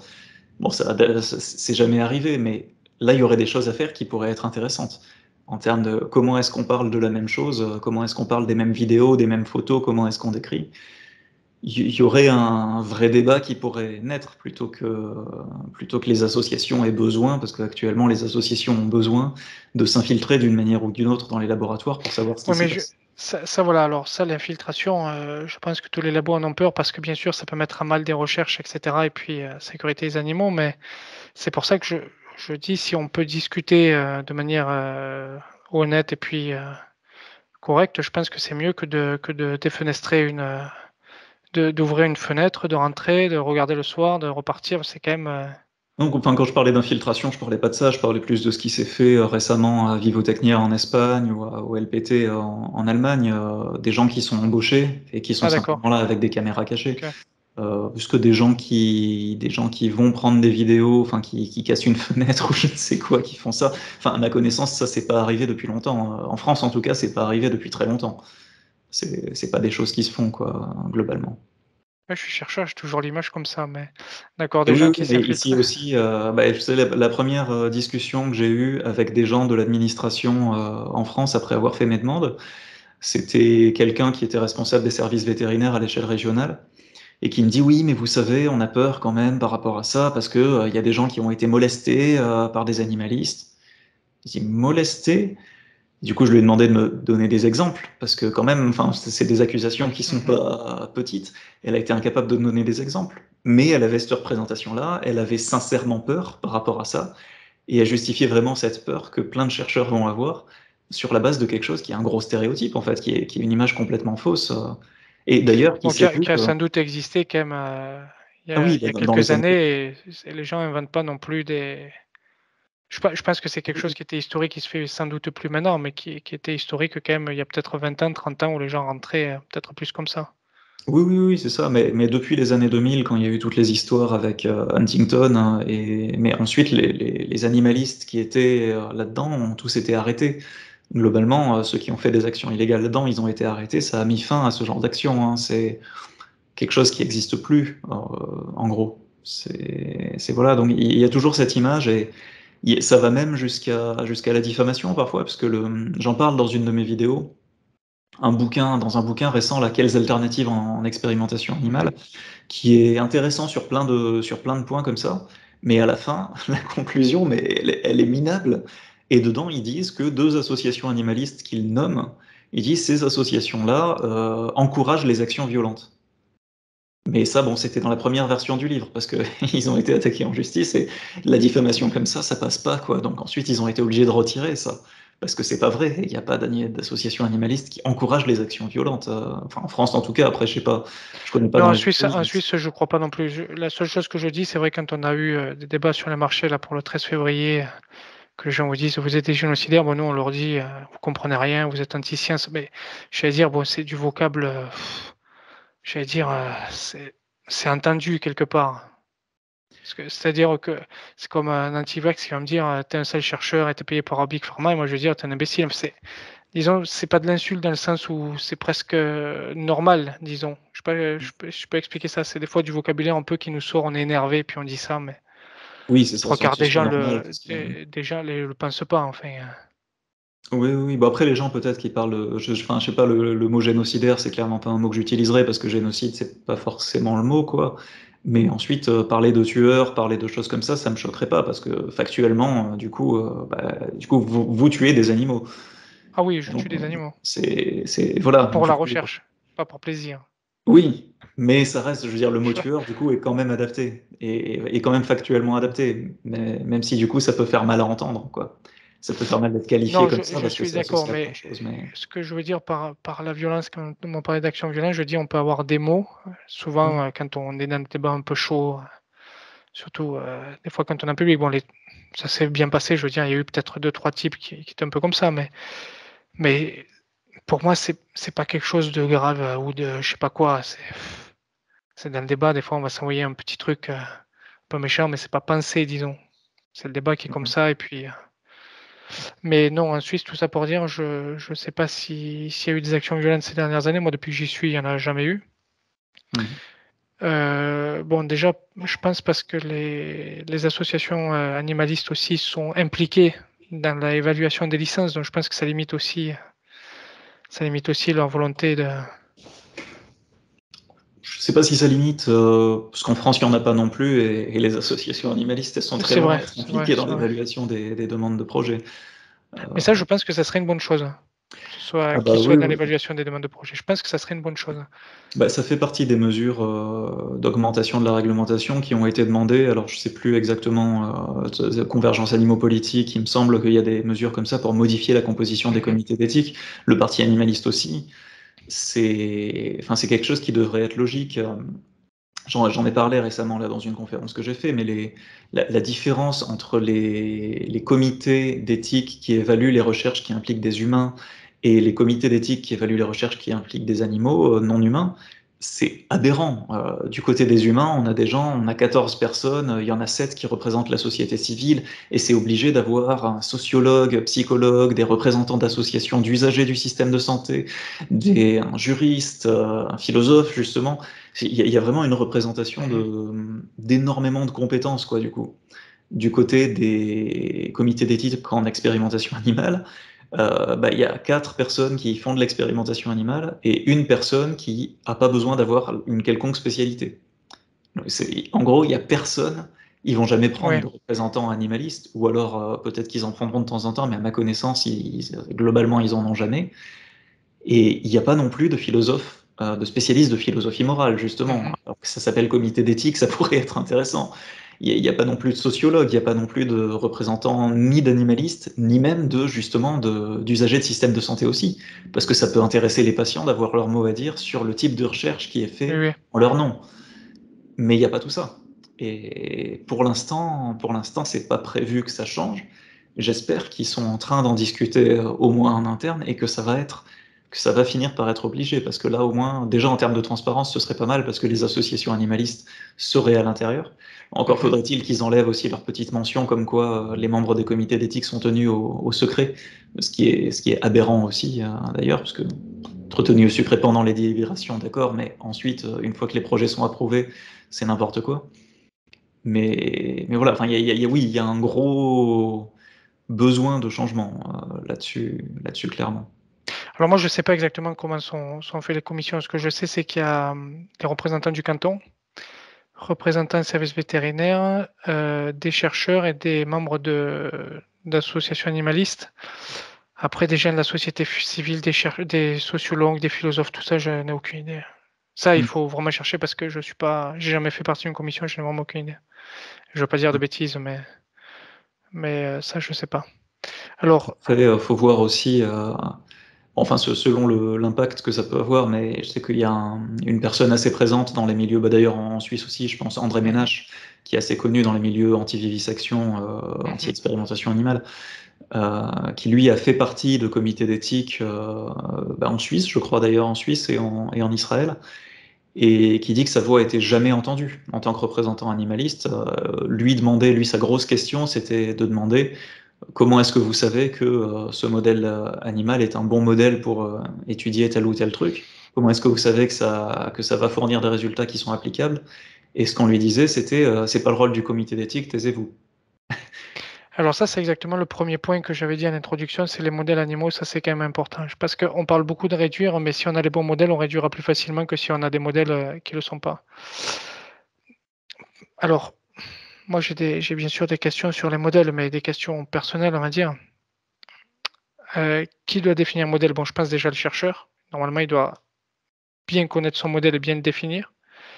Est-ce que ça représente bien une maladie humaine? Est-ce que euh, tel, tel euh, animal représente bien telle physiologie, telle partie de la physiologie, endocrinologie, etc. Ensuite, est-ce qu'il y a des gens qui doivent le vérifier derrière? Je pense que oui, mais qui? Je ne sais pas. Je n'ai pas de, métier en tête qui pourrait vérifier ça. Il faudrait peut-être des spécialistes de, de ces questions de modèle, mais c'est une question qui est extrêmement importante, la question du modèle animal, c'est sûr. Bah, quand on voit le. Bon, il y a une crise de reproductibilité dans toutes les sciences, euh, que ce soit sur des animaux ou pas, mais Mais du coup, le fait que ça existe, c'est d'autant plus grave quand on utilise des animaux, parce que ça veut dire que ces animaux-là, ils souffrent et ils sont tués pour rien, quoi. Quand, l'expérience, alors pas, seulement quand c'est pas reproductible, puisque c'est compliqué, mais il y a plein de recherches qui effectivement ne servent à rien. Il y a, tout un tas de problèmes qui existent dans les milieux scientifiques en général. Et du coup, quand ça concerne l'expérimentation animale, enfin, elle n'est pas, elle n'est pas magiquement exemptée de tout ça. Il y a forcément dans l'expérimentation animale le même genre de pourcentage de recherches qui servent objectivement à rien. Et du coup, euh, comment est-ce qu'on évalue lesquelles c'est à, l'avance et comment est-ce qu'on les fait pas celles-là, Parce que c'est d'autant plus grave, quoi. On n'est pas simplement en train de faire une recherche qui va mener à rien, mais qui est une recherche bibliographique ou alors des recherches en musicologie. Euh, si une recherche en musicologie elle sert à rien, euh, tout le monde s'en fout à la limite. Ça fera de mal à personne, euh, à part au portefeuille des, des gens qui embauchent les chercheurs. Mais si une recherche qui utilise des animaux mène à rien, bah, ces animaux-là, ils ont été tués, ils ont souffert pour ça, pour rien, quoi. Alors ça, je ne sais pas. Alors, je sais pas comment on évalue qu'une recherche sert à rien. Je dirais il y a quand même deux gros types de recherche. Bien sûr, une recherche plus fondamentale où les questions peuvent paraître beaucoup plus loin d'une pathologie, mais qui potentiellement un jour peuvent servir à quelque chose. Euh, je, vais, prendre un exemple, euh, on va dire un peu général, mais classique. La formation d'un tissu. Par exemple, si je me pose la question comment le cœur se forme pendant, la, vie in utero, euh, fondamentalement, on peut se dire que ça apporte pas grand-chose. Mais peut-être qu'un jour, il y aura une pathologie cardiaque qui fera qu'on peut la soigner in utero parce qu'on sait comment le cœur se développe et que on sait qu'à tel moment, bon. Euh, alors après, oui, je pense qu'il y, a des disciplines qui pourraient se former là-dessus peut-être et, discuter lors des, lors des listes. Je, je, trouve que le modèle animal et le, comme vous dites, est-ce que les études servent, etc., c'est quand même un point majeur de la science et, et c'est des questions qu'on a toujours en tête en fait et qu'on se pose nous aussi toujours. Est-ce que mon modèle sert? Est-ce que si je fais telle manip, est-ce que je pourrais la reproduire, etc. Alors il y a une crise de reproductibilité, je suis d'accord. En toxicologie, beaucoup moins quand même. Parce qu'on utilise aussi beaucoup les animaux pour la toxicologie, je veux dire, de médicaments qui sont en préclinique. Mm. Ça, beaucoup moins, il y a quand même, je veux dire, un médicament qui, qui donne un problème cardiaque ou rénal, euh, c'est reproductible, quel que soit le, quel que soit l'animalerie où on va le faire, si on a le même modèle animal, on va trouver la même chose.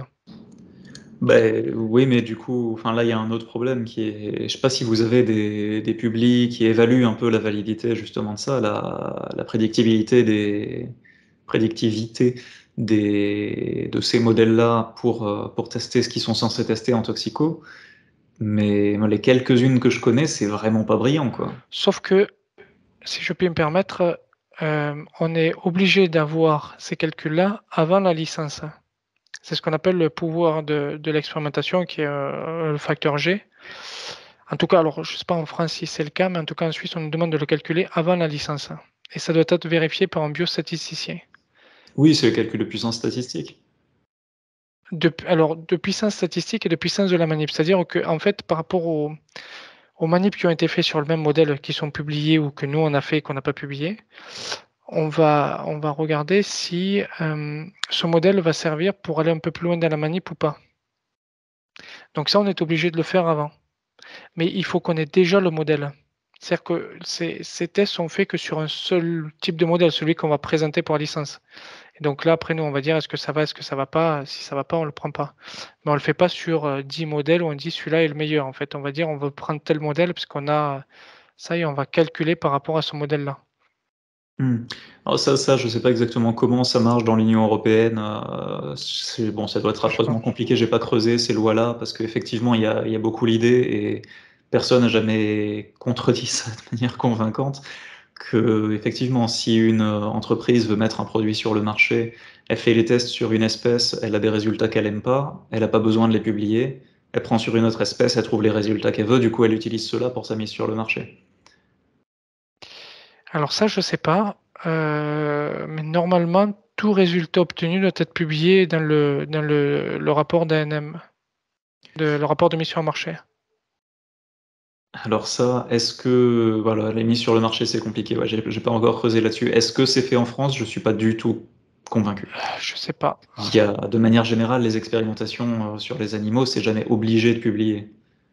Non, pas de publier pour le public, mais de publier pour euh, la NSM, oui, normalement, oui. Quand moi je travaillais à l'AFSAPS à l'époque, enfin j'étais stagiaire, hein, je travaillais, peut-être me calmer un peu, quand j'étais stagiaire à l'AFSAPS, euh, on m'a expliqué, j'ai jamais eu le droit de regarder un seul dossier, j'ai juste vu la taille des trucs, mais que toute manip qui avait été faite en préclinique sur un médicament, y compris sur celui une fois qu'on a le lead, une fois qu'on a le médicament qui va vraiment partir en clinique, pas tous les tests faits sur mmh. le médicament qui n'a pas marché, tout doit être mis dans le dossier d'MM. Ça ne veut pas dire que ça doit être publié en publication réelle que le public peut voir, mais en tout cas, ça doit être mis dans le dossier d'AMM.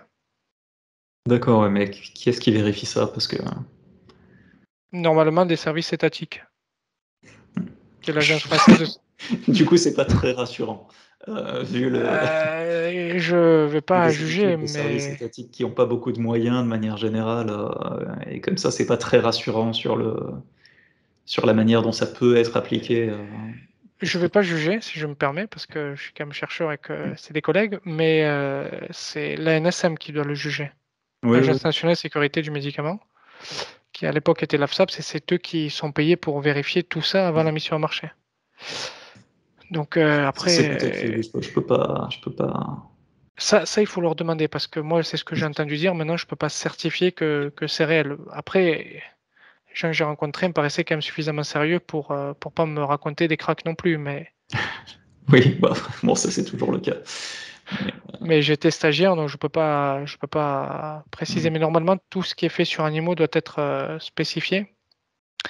Ensuite, il y a la question, et ça, on s'était beaucoup posé la question pour les, euh, pour les vaccins Covid à l'époque où, si vous regardez sur la chaîne, j'ai fait deux vidéos avec Marine, qui est une, une copine à moi qui, qui était à fac et moi et qui, travaille sur les essais cliniques, on avait beaucoup parlé de la publication en fait des résultats précliniques et cliniques. On se disait que c'était peut-être bon en fait d'avoir des publications, euh, comme on a sur tout type de recherche, disons, en préclinique et clinique. Mais pour donner un exemple, euh, quand j'étais à l'AFSAPS, donc euh, qui n'existe plus, qui est maintenant la NSM, la publication devait être publiée. Enfin, on avait écrit le papier sur Monocyte Activation Test pour remplacer lapin ça a été refusé. Puis après, moi, je suis parti à master et j'ai pas eu le temps de, finir ça. Par contre, quand j'étais à Pierre Fabre, la politique de Pierre Fabre, c'est de ne jamais publier. Hmm. Pfizer publie, par exemple, il y a Merck qui publie, il y a Roche publie de temps en temps, euh, Sanofi quelquefois, mais par exemple, Pierre Fabre ne publie pas. Il y, a, il y a des entreprises, GSK publie quasiment jamais. Mais il n'y a pas d'obligation légale en fait pour qu'une entreprise privée publie ses résultats. Hmm. Et ça, c'est bien. Ça. Alors voilà, après ça. Parce que ça veut dire euh, du coup que d'autres entreprises peuvent reproduire les mêmes expériences pour obtenir des résultats qui ont déjà été obtenus par ailleurs euh, par d'autres et qui ont simplement pas été publiés. Oui. Et là, là, il y a un gros souci. Alors ça, ça... J'avais pas pensé à ça, mais oui ça, se résout progressivement, ne serait-ce que sur les résultats négatifs, parce que ça c'était déjà un gros problème. Donc maintenant, il y a quand même, ça se publie de plus en plus les résultats négatifs, mais ça reste, euh, ça, avance doucement, quoi. Et si justement il y a encore des entreprises qui peuvent comme ça faire des expériences dont elles publient pas les résultats, enfin c'est, on, va être, on va être sérieux sur un point. Euh, si on regarde euh, l'ensemble des entreprises, si vous trouvez une publication où il y a écrit Pfizer, Merck, etc., dans le domaine biomédical, il reste quand même assez rare. La majorité des gens qui publient, c'est le public. Oui. Pourquoi? Parce qu'il y a les problèmes de brevets, que les entreprises, ici, on connaît mes résultats, on peut refaire, on peut nous piquer, on peut. Il faut penser qu'une entreprise, elle investit énormément pour sortir un médicament et qu'elle n'a pas forcément envie, au moment où ça va sortir, qu'il y ait quelqu'un d'autre qui puisse choper les résultats. Ce qui n'est pas le cas du ça pour le public aussi, malheureusement. Euh, je sais que l'université de Strasbourg, j'ai eu un contentieux euh, administratif euh, avec eux récemment. Et un des arguments pour ne pas me donner les documents que je demandais, c'était de dire ah sur ces documents il y a des détails de, de procédures comme ça, il y a des résultats de procédures, des observations, et ça ça irait pas pour la concurrence ça, en gros, ça, les, autres pourraient l'utiliser comme ça. ce qui est faux, hein, parce que les, documents, ils me les ont envoyés depuis, il n'y a, rien dessus en termes de procédure. Il n'y a, pas de description, ils ont dû enlever pas mal de choses. Mais, mais du coup, ils, argumentaient ça. Et c'est-à-dire, voilà, en gros, des choses qu'ils ne publient pas, des choses qu'ils ne publient pas volontairement, une université publique, pour pouvoir derrière avoir le brevet euh, aussi. Alors, ça, ça, ça, je sais pas. C'est vrai que des fois, on on attend en fait de finir la publication avant de publier, de donner tous les résultats, mais en, général, c'est publié. Il faut, il faut pas oublier un truc, c'est qu'il y a une concurrence de publication pour la carrière aussi. On est mm. quand même des chercheurs, on n'a pas envie de, se retrouver au chômage, donc on est obligé de, enfin, on a une concurrence les uns avec les autres. Donc, des fois, on, garde un peu des informations, on va dire secrètes pendant une année ou deux, le temps de finir à publier, puis après, ça sera publié. Enfin, en tout cas, mm. de mon point de vue, mais il faut penser au fait qu'on est tous en train de, se regarder les, un chien de faïence pour pouvoir publier. Ça, c'est une réalité de la recherche aussi. On est, Malheureusement, oui, On est des petites mains assez peu payées et qu'il faut arriver à, publier pour avoir des avancées. Donc, je peux comprendre aussi que certains aient des réticences à publier certains résultats, de peur de se dire, ou même de les montrer en congrès. Ça, c'est des gros problèmes aussi sur certains congrès où, mm. si vous allez aux États-Unis, euh, vous avez des mecs qui prennent en photo quand même. Hein. oui. Donc euh, après, vous ne savez pas ce qu'ils font de vos résultats. Parce qu'en général, un congrès, ils ne sont pas toujours publiés. Et oui, mais du coup, ça veut dire que cette euh, concurrence-là, que ce soit concurrence professionnelle par la, course à la publication, que ce soit concurrence euh, financière entre les entreprises, entre les, établissements, enfin ça c'est hyper délétère. Et pour la recherche, ça on le sait, c'est un gros souci, mais pour les animaux aussi, quoi, parce que oui. c'est là, ça veut dire il y a un gros problème à résoudre. Et malheureusement, euh, comme pour beaucoup de problèmes, euh, la solution, ce serait un peu de foutre en l'air euh, bah, le, système de, libéral des universités, le système de, qui fait dépendre tout de l'argent là-dedans et qui fait dépendre les, postes des publications. Enfin bon, c'est malheureusement, oui, c'est tout un système qui, qui est difficile. Non, bien sûr, c'est tout un système. Après, il faut penser aussi une chose quand même, c'est que la science est collaborative et que souvent quand on va en congrès qu'on va trouver des chercheurs mais qui travaillent sur le même sujet que nous, on va se mettre en collaboration, donc ça limite quand même aussi les manips. C'est ce que je disais au début, si jamais on interdit en Europe ou, euh, en Occident les expérimentations animales, les chercheurs trouveront des collaborations ailleurs où les expériences se feront aussi. Alors, je suis d'accord que le système actuel, euh, je parlais pour le public que, que je connais le mieux, euh, le pouce à la publication fait que certaines manips vont être faites plusieurs fois et des fois pas avoir exactement les mêmes résultats. Puis il y a deux publics qui vont sortir à six mois d'intervalle et qui vont dire des choses complètement inverses. C'est normal en soi. Oui, parce que tout le monde. qu'il y a des choses qui vont pas toujours dans le même sens, même quand on reproduit des choses, c'est pour ça qu'on reproduit des choses. Mais... C'est pour ça qu'on reproduit, mais changer le système, euh, bon courage, j'ai envie de dire, c'est pas si aisé. C'est. Mais c'est surtout, c'est d'autant moins facile qu'on n'est pas dedans. Euh, je, connais des gens, des, proches qui, quittent le système universitaire justement parce qu'ils supportent pas ça, parce que ce, fonctionnement-là est, affreusement toxique. Et en même temps, une fois qu'on le quitte, c'est impossible. Enfin, on, se retrouve à plus pouvoir le modifier parce qu'on n'est plus dedans. Et, du coup, ce qui va rester à l'intérieur, c'est les gens qui sont les plus adaptés à, ce genre de concurrence, à ce genre de, fonctionnement aussi. Quoi. Oui, c'est l'évolution. Plus adapté, survie. Oui, oui, c'est ça. Malheureusement, ça renforce le système. Bon, enfin, on voit déjà que, que, les mandarins commencent à prendre la porte de la sortie euh, avec des gens comme Raoult qui, qui se voilà, voilà. Alors ça, on a déjà pas mal. Déjà... déjà... lutté contre la fraude scientifique, ça serait pas mal. On va, on va peut-être. Euh, on va peut-être continuer. Il y a pas mal de questions, c'est vrai. Ouais, il y a pas mal de questions. Euh, alors, bon, la vivisection, on en a quand même parlé. Alors, on avait un point sur la vivisection, voilà. Alors moi, j'avais dit qu'un point d'expérimentation animale qui peut intéresser à affoler le public, c'est la vivisection. Alors, je voulais qu'on parle de la vivisection, mais on en a quand même, a quand même discuté. Alors, j'ai noté un point dans votre conférence qui s'appelle Peut-on parler d'éthique en expérimentation animale? Alors, euh, je pense que c'est dû, je, dis que c'est dû sans doute à la communication scientifique et sans doute pas à vous. Alors, vous indiquez qu'en France, 2 millions d'animaux sont utilisés pour l'expérimentation animale, tout type de recherche confondu. Alors, je dis qu'en titre de comparaison, le chiffre de 500 000 euh, animaux en Suisse est avancé. Alors, par les associations comme par l'État, donc je pense qu'on est à peu près là. Puis, la Suisse étant plus petite que la France, finalement, quatre fois moins, ça paraît assez cohérent. Voilà, et là, dans votre propos, vous continuez en indiquant qu'en plus de ces 2 millions, deux autres millions d'animaux sont sacrifiés pour la gestion des stocks, car malades et donc non utilisés, ou dites-vous pour le prélèvement d'organes? Alors, là, j'ai beaucoup de mal à, comprendre ça. Alors, j'avais écrit tout un speech, mais je pense qu'on va peut-être pas lire le speech, on va abréger. C'est que quand on parle de prélèvement d'organes, une fois que l'animal est mort, euh, l'organe est foutu.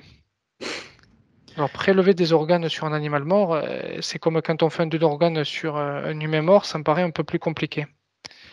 En, général, on pratique de la vivisection. Bah, allez-y, allez-y, désolé. J'ai dit, le plus souvent, on pratique la vivisection pour avoir le tissu qui est toujours vivant. Hmm.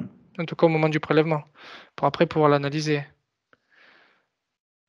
Mais en même temps, euh, il y avait un chercheur, donc ça, on en parlait un peu en privé, hein, un chercheur euh, d'ici, de Bordeaux, qui m'avait dit que lui décapitait des souriceaux, du coup, pour récupérer leur cerveau, pour faire des tranches de cerveau, pour regarder euh, à l'intérieur.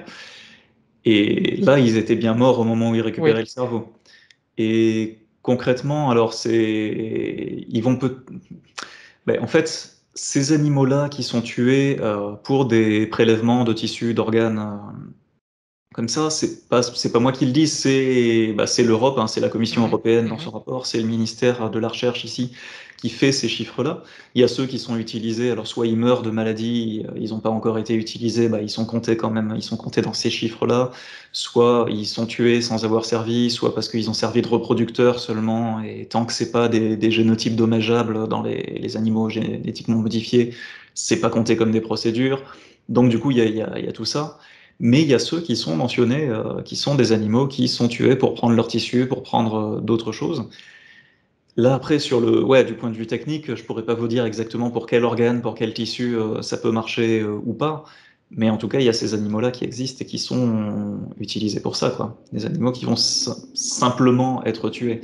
Parce que si ils étaient mis sous anesthésie, prélèvement d'organes et ensuite tués, là, en France, en tout cas, c'est classifié comme des procédures sans réveil puisque bah, ils sont, voilà, il y a l'anesthésie. Euh, ils sont sous expérimentation, ils font partie des deux premiers 2 millions.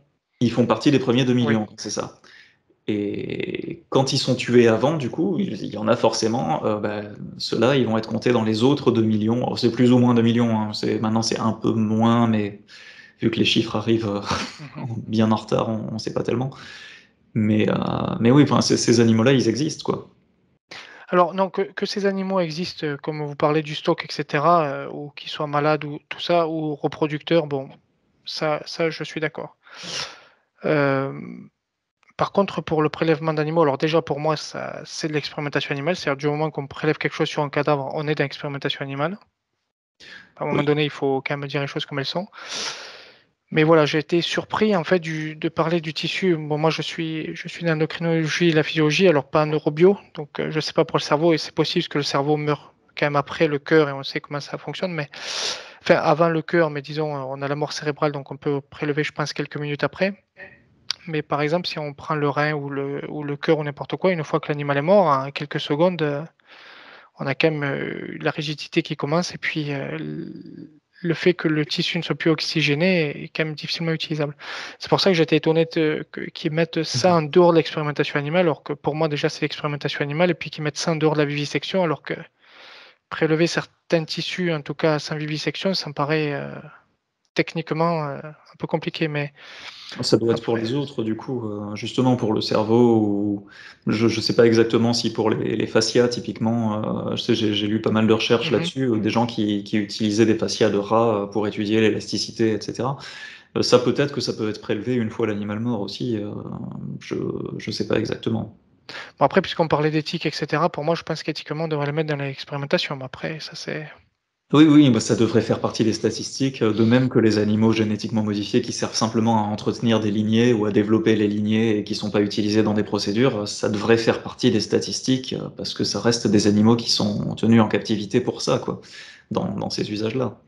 Là, je vais m'inscrire un peu. Euh, alors, parce que les, je vais m'inscrire un peu en faux parce que les, reproducteurs, ils sont reproducteurs, est-ce qu'ils font partie de la manip? Je suis pas certain qu'on puisse dire qu'ils font partie de la manip. Mais... C'est pas que la manip. Ces animaux-là qui sont quand même du coup privés de liberté, ils sont quand même nés.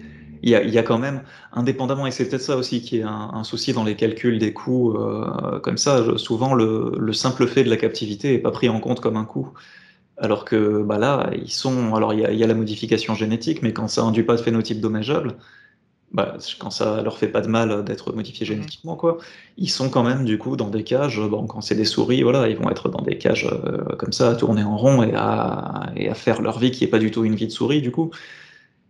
Et donc rien que ça, c'est à partir du moment où c'est pour l'expérimentation animale. Évidemment, il ne faut pas le mettre, euh, si on fait plusieurs cases sur les types d'utilisation, il ne faut pas le mettre dans la case procédure, il ne faut pas le mettre dans les cases de procédure, mais qui est dans les statistiques d'expérimentation animale annuelle une euh, colonne qui soit dédiée à ces animaux-là, ça paraîtrait quand même assez logique. C'est des animaux qui sont utilisés là-dedans et qui souffrent pour ça, qui souffrent au moins de captivité. Quoi.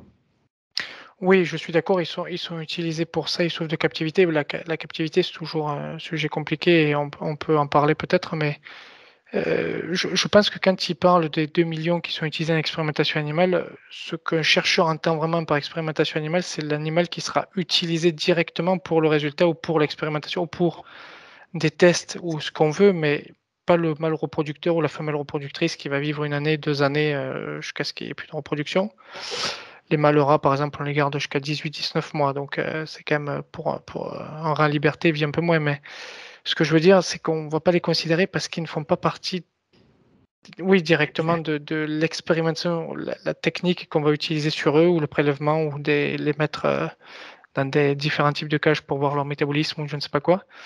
Oui, c'est vrai je pense que là, le chercheur et l'associatif aura peut-être deux visions un peu différentes, mais mais dans la loi, effectivement, euh, d'ailleurs, il y, a ça qui est très bizarre dans les statistiques euh, de l'Union européenne, enfin dans les pays de l'Union européenne, je ne sais pas exactement comment en Suisse ça se passe là-dessus, mais le, le nombre qu'on a, les, premiers 2 millions, là, ces 2 millions-là utilisés en expérimentation animale, mhm. animale, c'est pas un nombre d'animaux, c'est un nombre de procédures. Quoi? Oui, c'est pas un nombre d'individus, c'est. C'est-à-dire, on va avoir euh, bah, cette année, pour 2020, les, les, statistiques de 2020, c'était 1 650 000 procédures ont, été faites. Donc chaque procédure concerne un animal du coup. Mais du coup, il peut y avoir des animaux qui sont réutilisés, qui vont être comptés comme plusieurs procédures. Bon, globalement, les, souris et les rats étant pas réutilisés dans la plupart des cas, ça, ça fausse pas tellement le chiffre en nombre d'individus. Mais euh, on se retrouve quand même, c'est très bizarre de compter ça comme ça en termes de transparence vis-à-vis du public.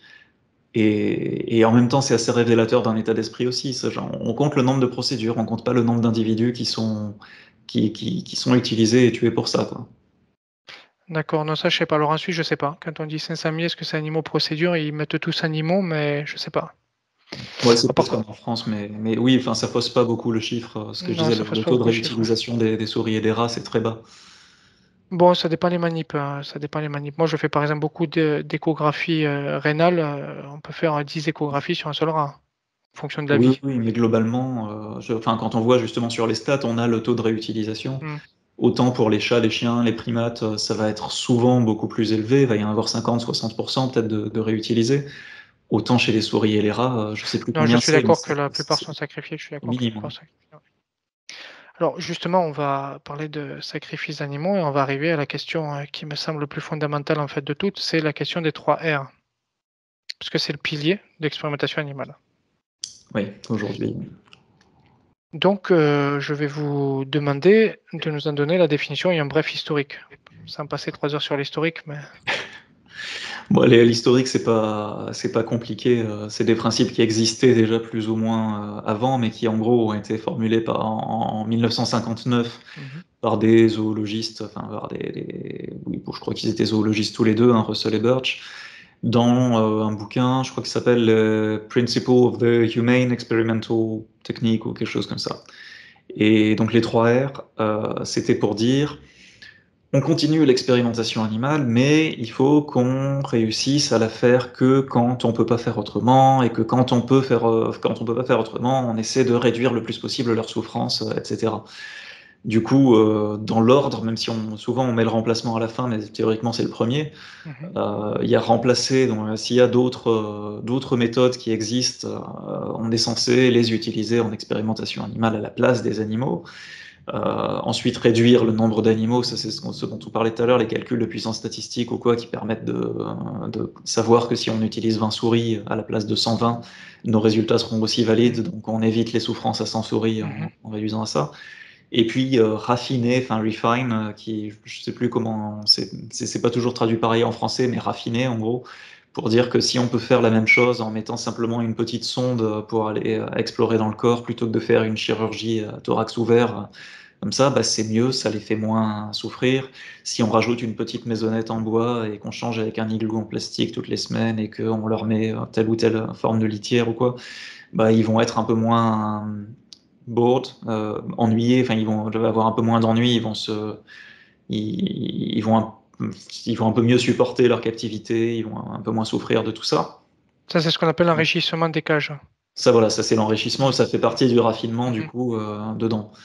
Et euh, après, bon, c'est vrai, voilà, tous ces trucs-là, ça a quand même des grosses limites. Euh, surtout, enfin, du point de vue du remplacement, c'est vrai qu'on le mentionne souvent à la fin, alors qu'il est, il est très important au début. C'est la première chose. Si le remplacement dit oui, s'il y a une technique autre qui existe, les deux autres, ils servent à rien. Euh, réduire et raffiner. Alors, pour moi, réduire, réduire et remplacer, il y a quand même des points très communs. Moi, je mets toujours réduire en premier quand je parle aux étudiants parce que pour moi, c'est plus ou moins la même chose. Parce que réduire le nombre d'animaux, si on a des méthodes de substitution, on réduira le nombre d'animaux. Oui, mais en même temps, si on a des méthodes de substitution, euh, du coup, on va peut-être plus utiliser d'animaux. Oui, alors. C'est pas la même chose. Euh, oui, alors je suis d'accord que c'est pas la même chose conceptuellement, mais dans mon esprit, quand même réduire, c'est aussi parler de méthode de substitution, mais. Oui, on peut en parler. En même temps, ça m'intéresse que ce soit séparé parce que justement, le remplacement, ça va vraiment vers l'arrêt de l'expérimentation animale. Mm. Alors que la réduction, c'est dire on en fait encore, mais on utilise moins d'animaux. Alors que remplacement, voilà. Mais malheureusement, euh, enfin, quand on, le voit dans les, dans les bouquins, typiquement, le, quelles alternatives en expérimentation animale, là, le, quand il parle de remplacement, des fois, c'est remplacer euh, des primates par des souris, remplacer des souris par des poissons, remplacer des poissons par des invertébrés. Mm-hmm. Les invertébrés sont pas comptés d'ailleurs dans les statistiques. C'est vrai tout à l'heure quand on parlait même de, de millions, tout ça, c'est 2 millions d'animaux vertébrés et de céphalopodes. Mais mais les invertébrés sont pas comptés, donc tous les insectes et tout ça, euh, on ne sait pas combien il y en a d'utilisés. Mais donc ça, c'est pas... Enfin, euh, là, pour le coup, je serais plus d'accord pour mettre ça soit dans réduction, soit dans raffinement, selon dans quelle visée c'est utilisé. Alors que remplacement, euh, c'est vraiment l'idée, bah, comme vous parliez pour les pyrogènes. Hein. Mm-hmm. de pyrogène, voilà, on a autre chose qui permet de ne pas utiliser de lapin, bah, on utilise ce truc-là, on n'utilise pas de lapin. Et là, hop, c'est plié. Euh, et on n'a pas besoin de penser à la réduction et au raffinement sur ce truc-là. J'ai une question par contre là-dessus qui me vient tout d'un coup, là, en vous entendant parler. Est-ce que vous ne croyez pas que certains chercheurs peuvent avoir dans l'idée de dire, bon, s'il y a une méthode de substitution et qu'en plus je peux utiliser les animaux, si j'utilise les deux méthodes, euh, c'est peut-être mieux. C'est-à-dire qu'une méthode de substitution peut servir en plus des animaux. Je ne sais pas si vous voyez ce que je veux dire. Ouais, bah, j'ai envie de dire souvent, euh, quand on lit les, papiers, globalement, dans beaucoup de cas, va y avoir euh, on a testé in vitro et ensuite on a testé in vivo, ou alors on a testé in vitro euh, tel euh, truc spécifique et in vivo autre chose. C'est souvent utilisé en parallèle de toute façon, des méthodes qui sont non animales et des méthodes animales. Mais ensuite, si vraiment des gens se disent on a une méthode sans animaux qui permet d'obtenir les résultats que j'obtiendrai avec les animaux, mais sans en utiliser. Mais j'ai quand même utilisé les animaux juste au cas où pour euh, éventuellement avoir plus de résultats. Ben là, il y a un problème. C'est-à-dire, même réglementairement, ça ne devrait pas passer comme raisonnement. Parce que s'il y a la méthode qui permet d'obtenir ces résultats-là, mm. c'est pas aux chercheurs de décider, ouais, j'ai quand même envie pour voir euh, d'avoir les animaux. même d'un point de vue de la loi, c'est pas censé passer. Ça passerait probablement parce que la justification, euh, il trouverait une justification ou une autre. Hein. on voit dans les, dossiers d'autorisation de projet ou dans les résumés non techniques. C'est des choses où on justifie l'utilisation des animaux de manière assez légère. Par défaut, c'est autorisé d'utiliser les animaux. Il faut vraiment avoir une raison de ne pas les utiliser euh, qui soit assez euh, évidente. et là, on revient toujours sur la question de modèle, de vérifier les modèles.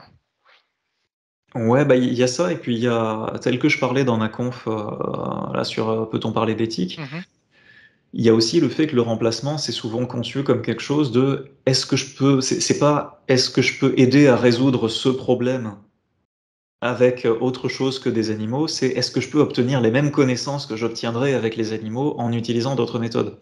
donc si on parle d'étudier, les effets du syndrome d'alcoolisation fœtale, mmh l'idée c'est pas: «Est-ce qu'est-ce qui va être le plus efficace entre faire euh, des, séances euh, d'explication aux gens, faire de la prévention, faire des machins, faire autre chose, entre faire tel autre type de recherche et utiliser des rats, euh, des rats pour induire un syndrome d'alcoolisation fœtale et étudier les, petits? c'est bah, on va étudier, on a envie de savoir ce que ça fait quand on, fait le syndrome d'alcoolisation fétale, si on donne tel ou tel truc en plus, est-ce que ça permet d'éviter telle ou telle chose? Est-ce qu'on peut obtenir ce résultat-là avec une autre méthode? Mm-hmm. Et donc, si ça se trouve, ça va quand même être plein d'argent qui va partir dans ces expériences-là, que ce soit sur des rats ou d'ailleurs même sur des méthodes non animales, alors que tout cet argent, il aurait peut-être été plus efficace dans la lutte contre le syndrome d'alcoolisation fétale s'il avait été mis sur autre chose. Mais oui, je vois ce que. Ouais. Et c'est affreusement compliqué. Hein. Ça, ce serait quelque chose de, de, monstrueux à évaluer pour les comités d'éthique, mais à mon avis, en tout cas, ça devrait être quand même la première question que devraient se poser les comités d'éthique s'ils veulent vraiment évaluer les trois R euh, bah, dans le premier R du remplacement, que ce soit pas seulement est-ce qu'on peut obtenir les mêmes résultats avec autre chose, mais euh, qu'est-ce qu'on cherche au-delà des résultats à court terme? Qu'est-ce que c'est le but? Et est-ce que ce but-là peut pas être atteint euh, autrement? Oui, ça c'est une chose que je n'avais pas vue forcément comme ça, mais c'est bien indiqué. Et, donc on a, on a défini les trois R à peu près l'historique. Et j'avais une question, là je vois le point 2 sur les publications scientifiques. Comment est-ce qu'on le met en avant sur une publication scientifique? Ah, Oui, malheureusement. J'ai pas dit que toutes mes questions étaient faciles. Hein. Et oui, oui. Bah, c'est, j'ai envie de dire, euh, bah, c'est presque facile, c'est juste que c'est tellement stéréotypé la manière dont c'est mis en avant dans les publis on va lire les choses et puis en gros à chaque fois va y avoir la section matériel et méthode euh, et à l'intérieur les animaux. Bon ben voilà, on a utilisé tant d'animaux euh, comme ça qui étaient soumis à un cycle jour-nuit comme ça comme ça et euh, les animaux respectaient les règles d'éthique d'après l'autorisation de tel comité et on leur avait mis une petite maisonnette en bois pour que pour, pour en, guise d'enrichissement.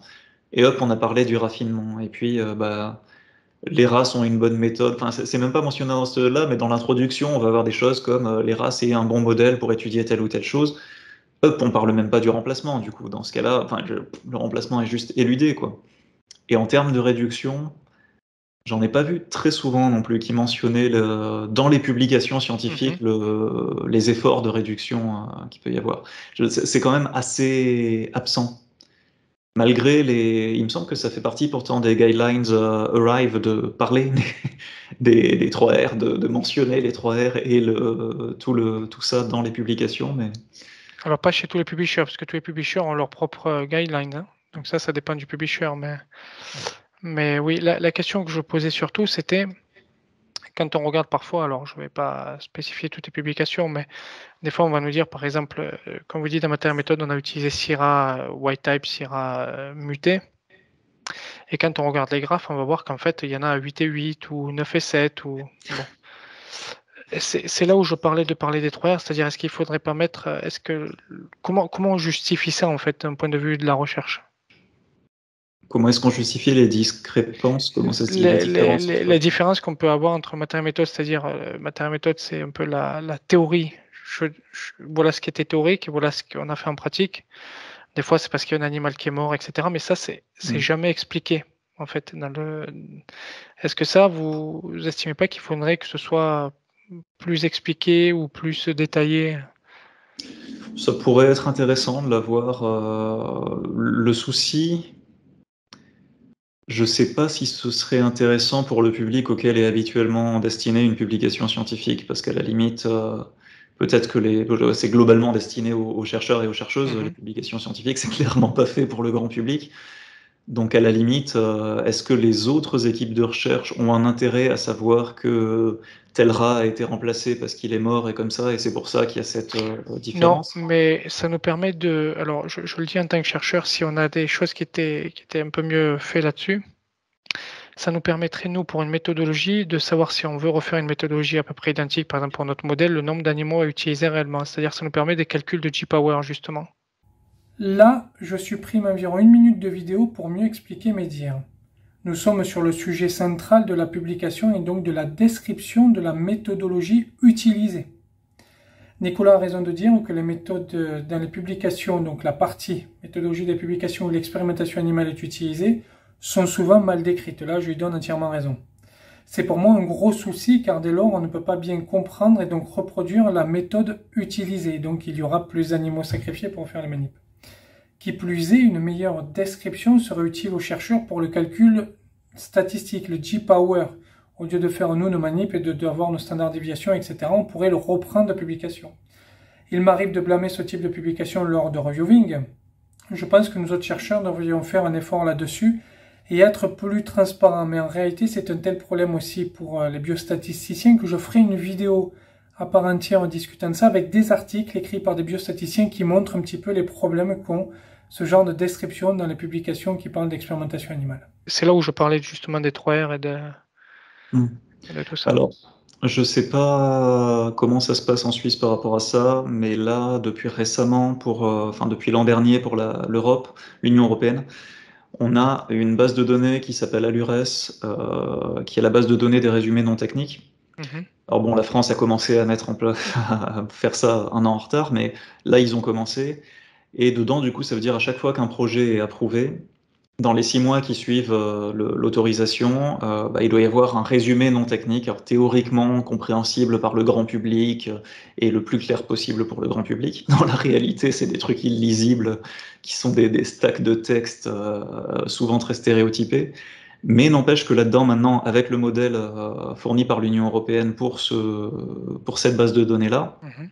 Bah, du coup, on se retrouve quand même avec une case pour chacun des trois R et on se retrouve avec comme ça des explications précises sur pourquoi est-ce qu'on prévoit euh, d'IRA euh, alors qu'il n'y en a que 8 qui vont subir euh, le comme ça. Donc théoriquement des choses comme on prévoit qu'il y en a peut-être deux qui vont mourir et donc on, les a prévus en remplacement pour l'autorisation de projet. Là c'est indiqué dans ces, dans ces endroits-là. Dans certaines manips, on sait qu'il y a des rats qui peuvent, qui peuvent ne pas finir la manip. C'est même pas qu'ils peuvent mourir, c'est que c'est ce que je disais sur les grades de la douleur. En fait, quand on fait certaines manips, par exemple, on va dire si je fais telle manip et que l'animal perd 10% du poids au bout de, deux jours, et, je dis ça, c'est ce qui est ce réel, alors on doit enlever l'animal. Et on sait que par exemple sur certaines manips, il y a 5-6% des rats qui vont être dans ce cas-là, donc pour pas avoir refaire 10 fois la manip et la refaire une fois, si on a besoin que de 7 rangs, on va dire on en a 7 plus 5, 6%, ce qui nous permet d'avoir toujours le... Parce qu'on ne doit pas aller au-delà d'un certain degré de souffrance et donc on limite au maximum la souffrance aussi et donc on doit enlever des rats de, manip. Bon, je dis les rats parce que je travaille sur les rats, mais on doit enlever des rats de manip parce qu'à un moment donné, il y a trop de souffrance et que le rat est pas bien et que les conditions ne vont pas pour lui. Donc on, on l'enlève de, de manip. Enfin, ça nous arrive euh, de manière régulière. Oui, bah ça, enfin, je sais pas comment, j'imagine c'est appelé pareil en Suisse, mais en France, ça s'est appelé les points limites. Euh. Oui. Ils, sont censés être définis avant, avant. Mhm. Et, avoir un protocole par rapport à ça.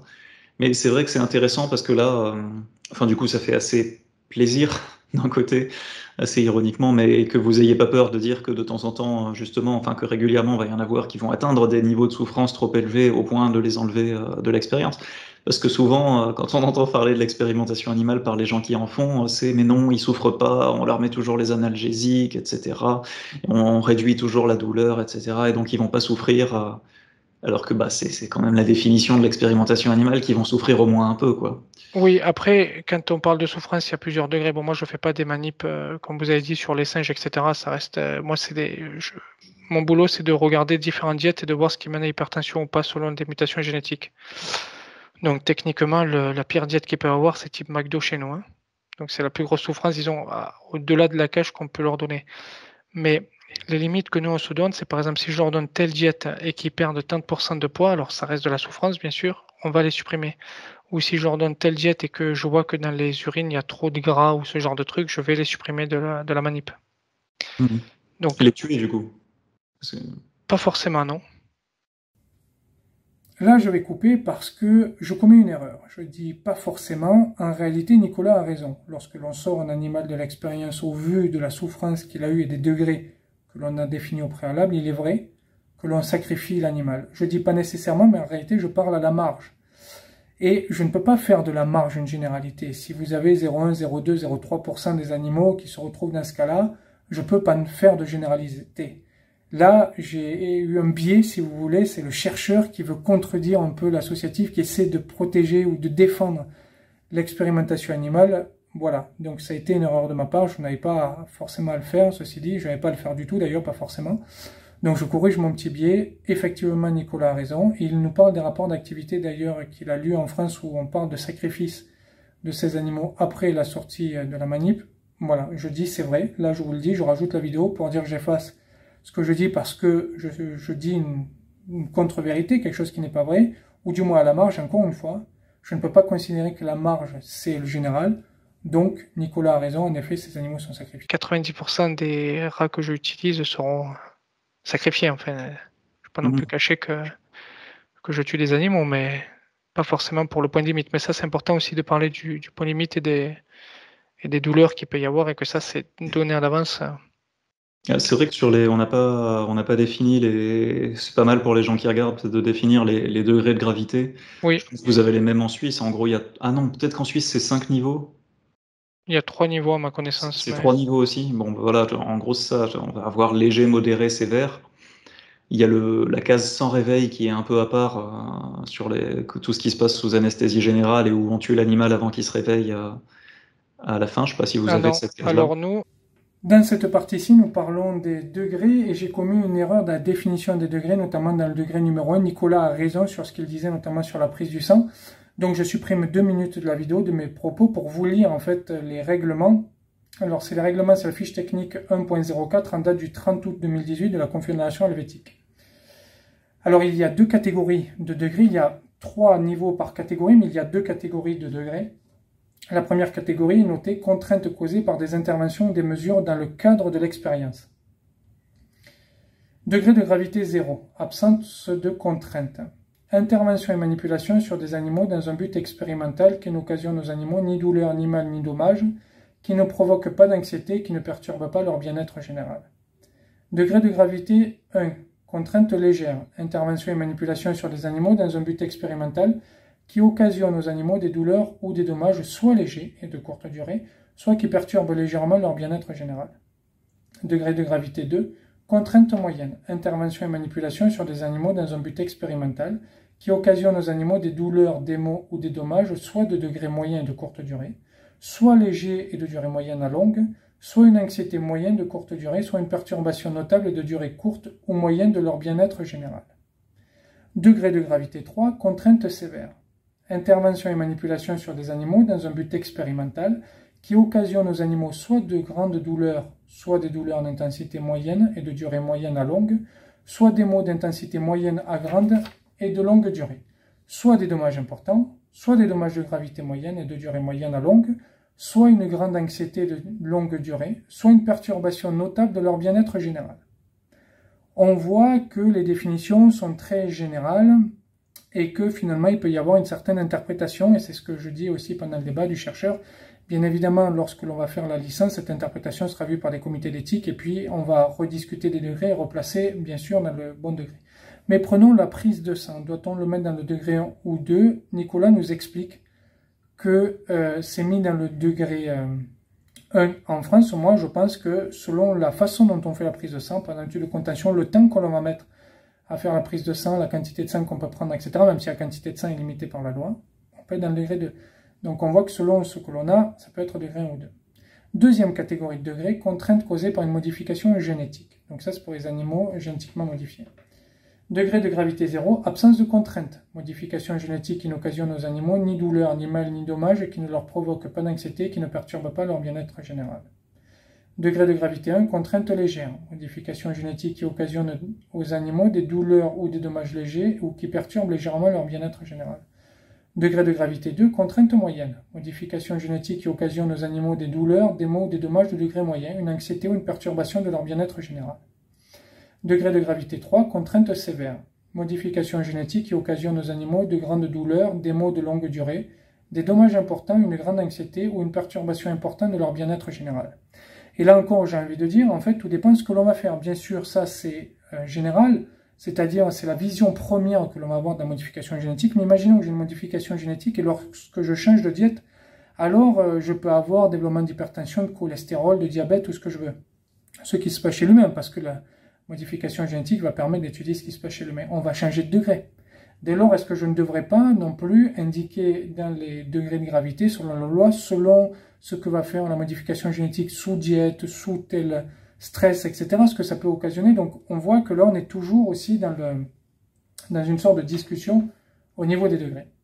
Dans le document de Swiss Universities, il est ajouté ceci, c'est aussi une fiche technique, dont je cite. Avant de débuter une expérience, chaque chercheur ou chercheuse anticipe le degré de gravité maximal de l'étude. Cette évaluation prospective est prise en compte par les autorités cantonales pour accorder ou non l'autorisation. Ce n'est toutefois pas l'évaluation prospective qui est déterminante pour mesurer les contraintes réelles pesant sur les animaux, mais la manière dont les animaux réagissent effectivement à la procédure expérimentale. Et là, je fais une parenthèse, la prise de sang, clairement, ça dépend comment ils vont réagir, le temps qu'on va mettre, etc. Bon. Je donne cet exemple-là de prise de sang, mais je peux en donner d'autres. La loi exige ainsi que des critères d'interruption de l'expérience appropriée soient établis au moment de la demande d'autorisation, article 135 OPAN.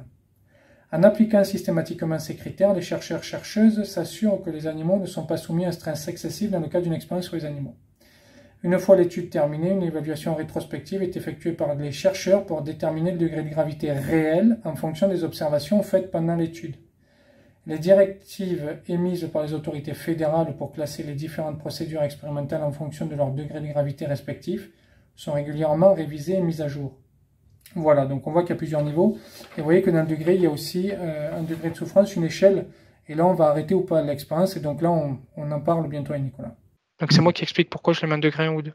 Mmh. Selon la loi, mais selon aussi ce que je pense. Oui, bah ça on a la même en France. Euh, c'est les comités d'éthique qui sont censés après regarder ça pour vérifier que ça ne doit pas être reclassé. Parce que des fois, il y a des gens qui font passer des choses euh, qui devraient être degré sévère, donc euh, l'équivalent du degré 3 certainement chez vous, qui font passer ça en degré modéré. Parce que dans le degré modéré, il peut y avoir des choses déjà un peu tendues justement bah, thoracotomie typiquement, ou alors des, craniotomies pour installer des, électrodes euh, dans les, bah, sur les crânes des singes, hein, ce, qu'on leur fait régulièrement, mhm, mhm. leur, installer les trucs. Comme ça, ça, ça va être considéré comme du degré 2, enfin comme du degré modéré du coup en France. Ensuite, le, sur le degré sévère, euh, ça va être les brûlures, euh, ça va être des, ouais, les, les empoisonnements pour les, les, tests de toxicité, des, des, choses vraiment tendues, quoi. Les, bah, les empoisonnements au gaz neurotoxique pour, euh, pour les faire des modèles de Parkinson, Alzheimer et compagnie. Des choses vraiment, ouais, des choses vraiment affreuses où ils définissent ça comme une ça, douleur du degré 3, un stress important. Ça, voilà, ça c'est le degré 3, ça c'est le degré sévère.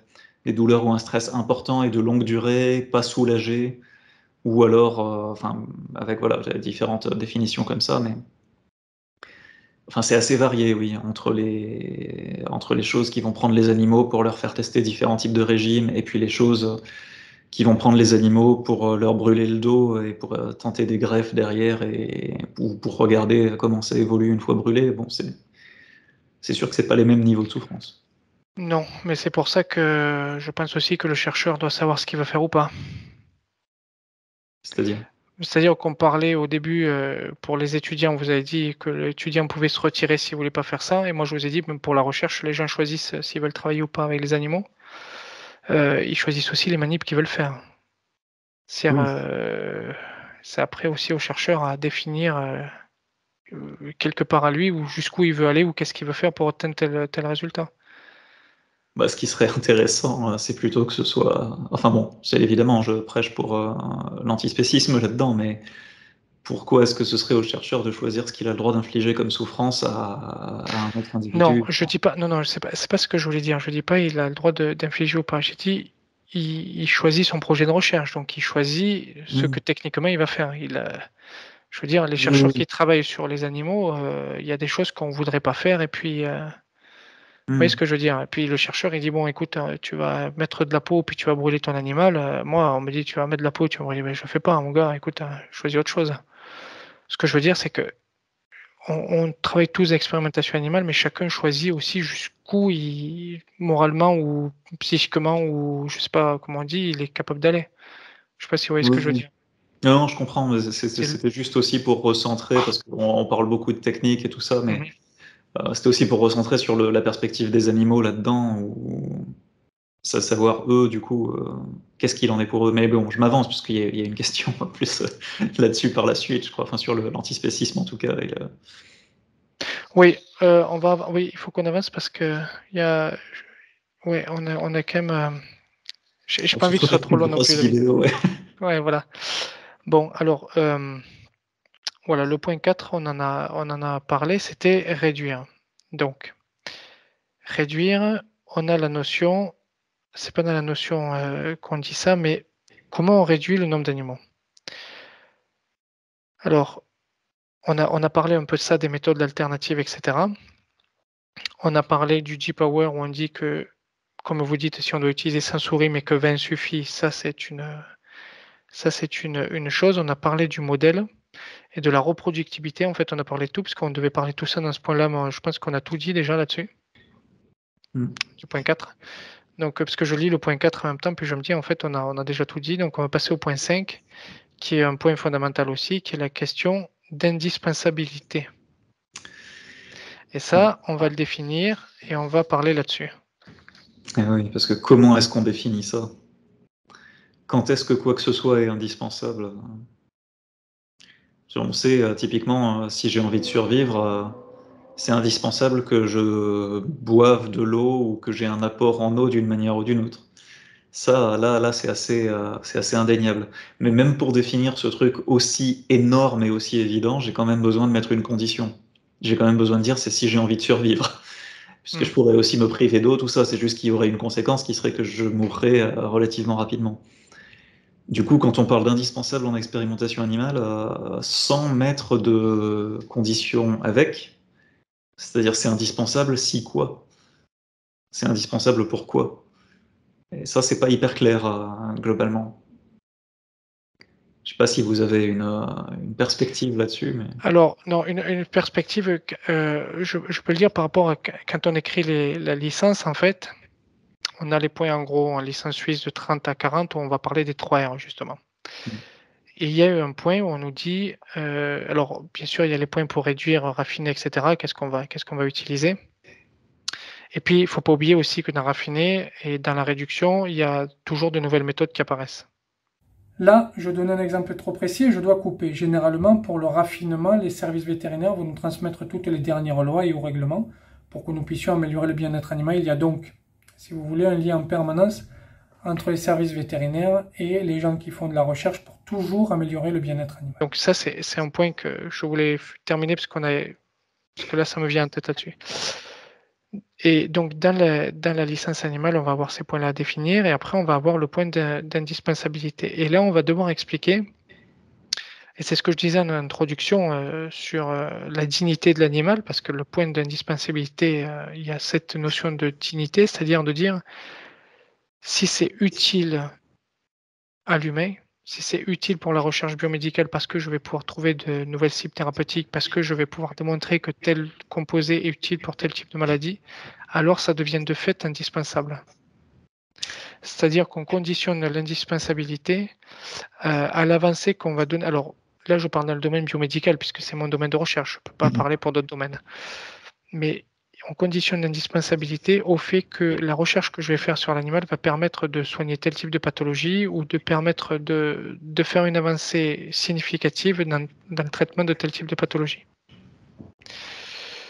Et bien sûr, c'est indispensable si euh, n'y a pas de méthode pour remplacer l'animal. Si j'ai une méthode pour remplacer l'animal, j'utilise la méthode pour remplacer l'animal et on nous demande de prouver qu'il n'y a pas de méthode pour remplacer l'animal.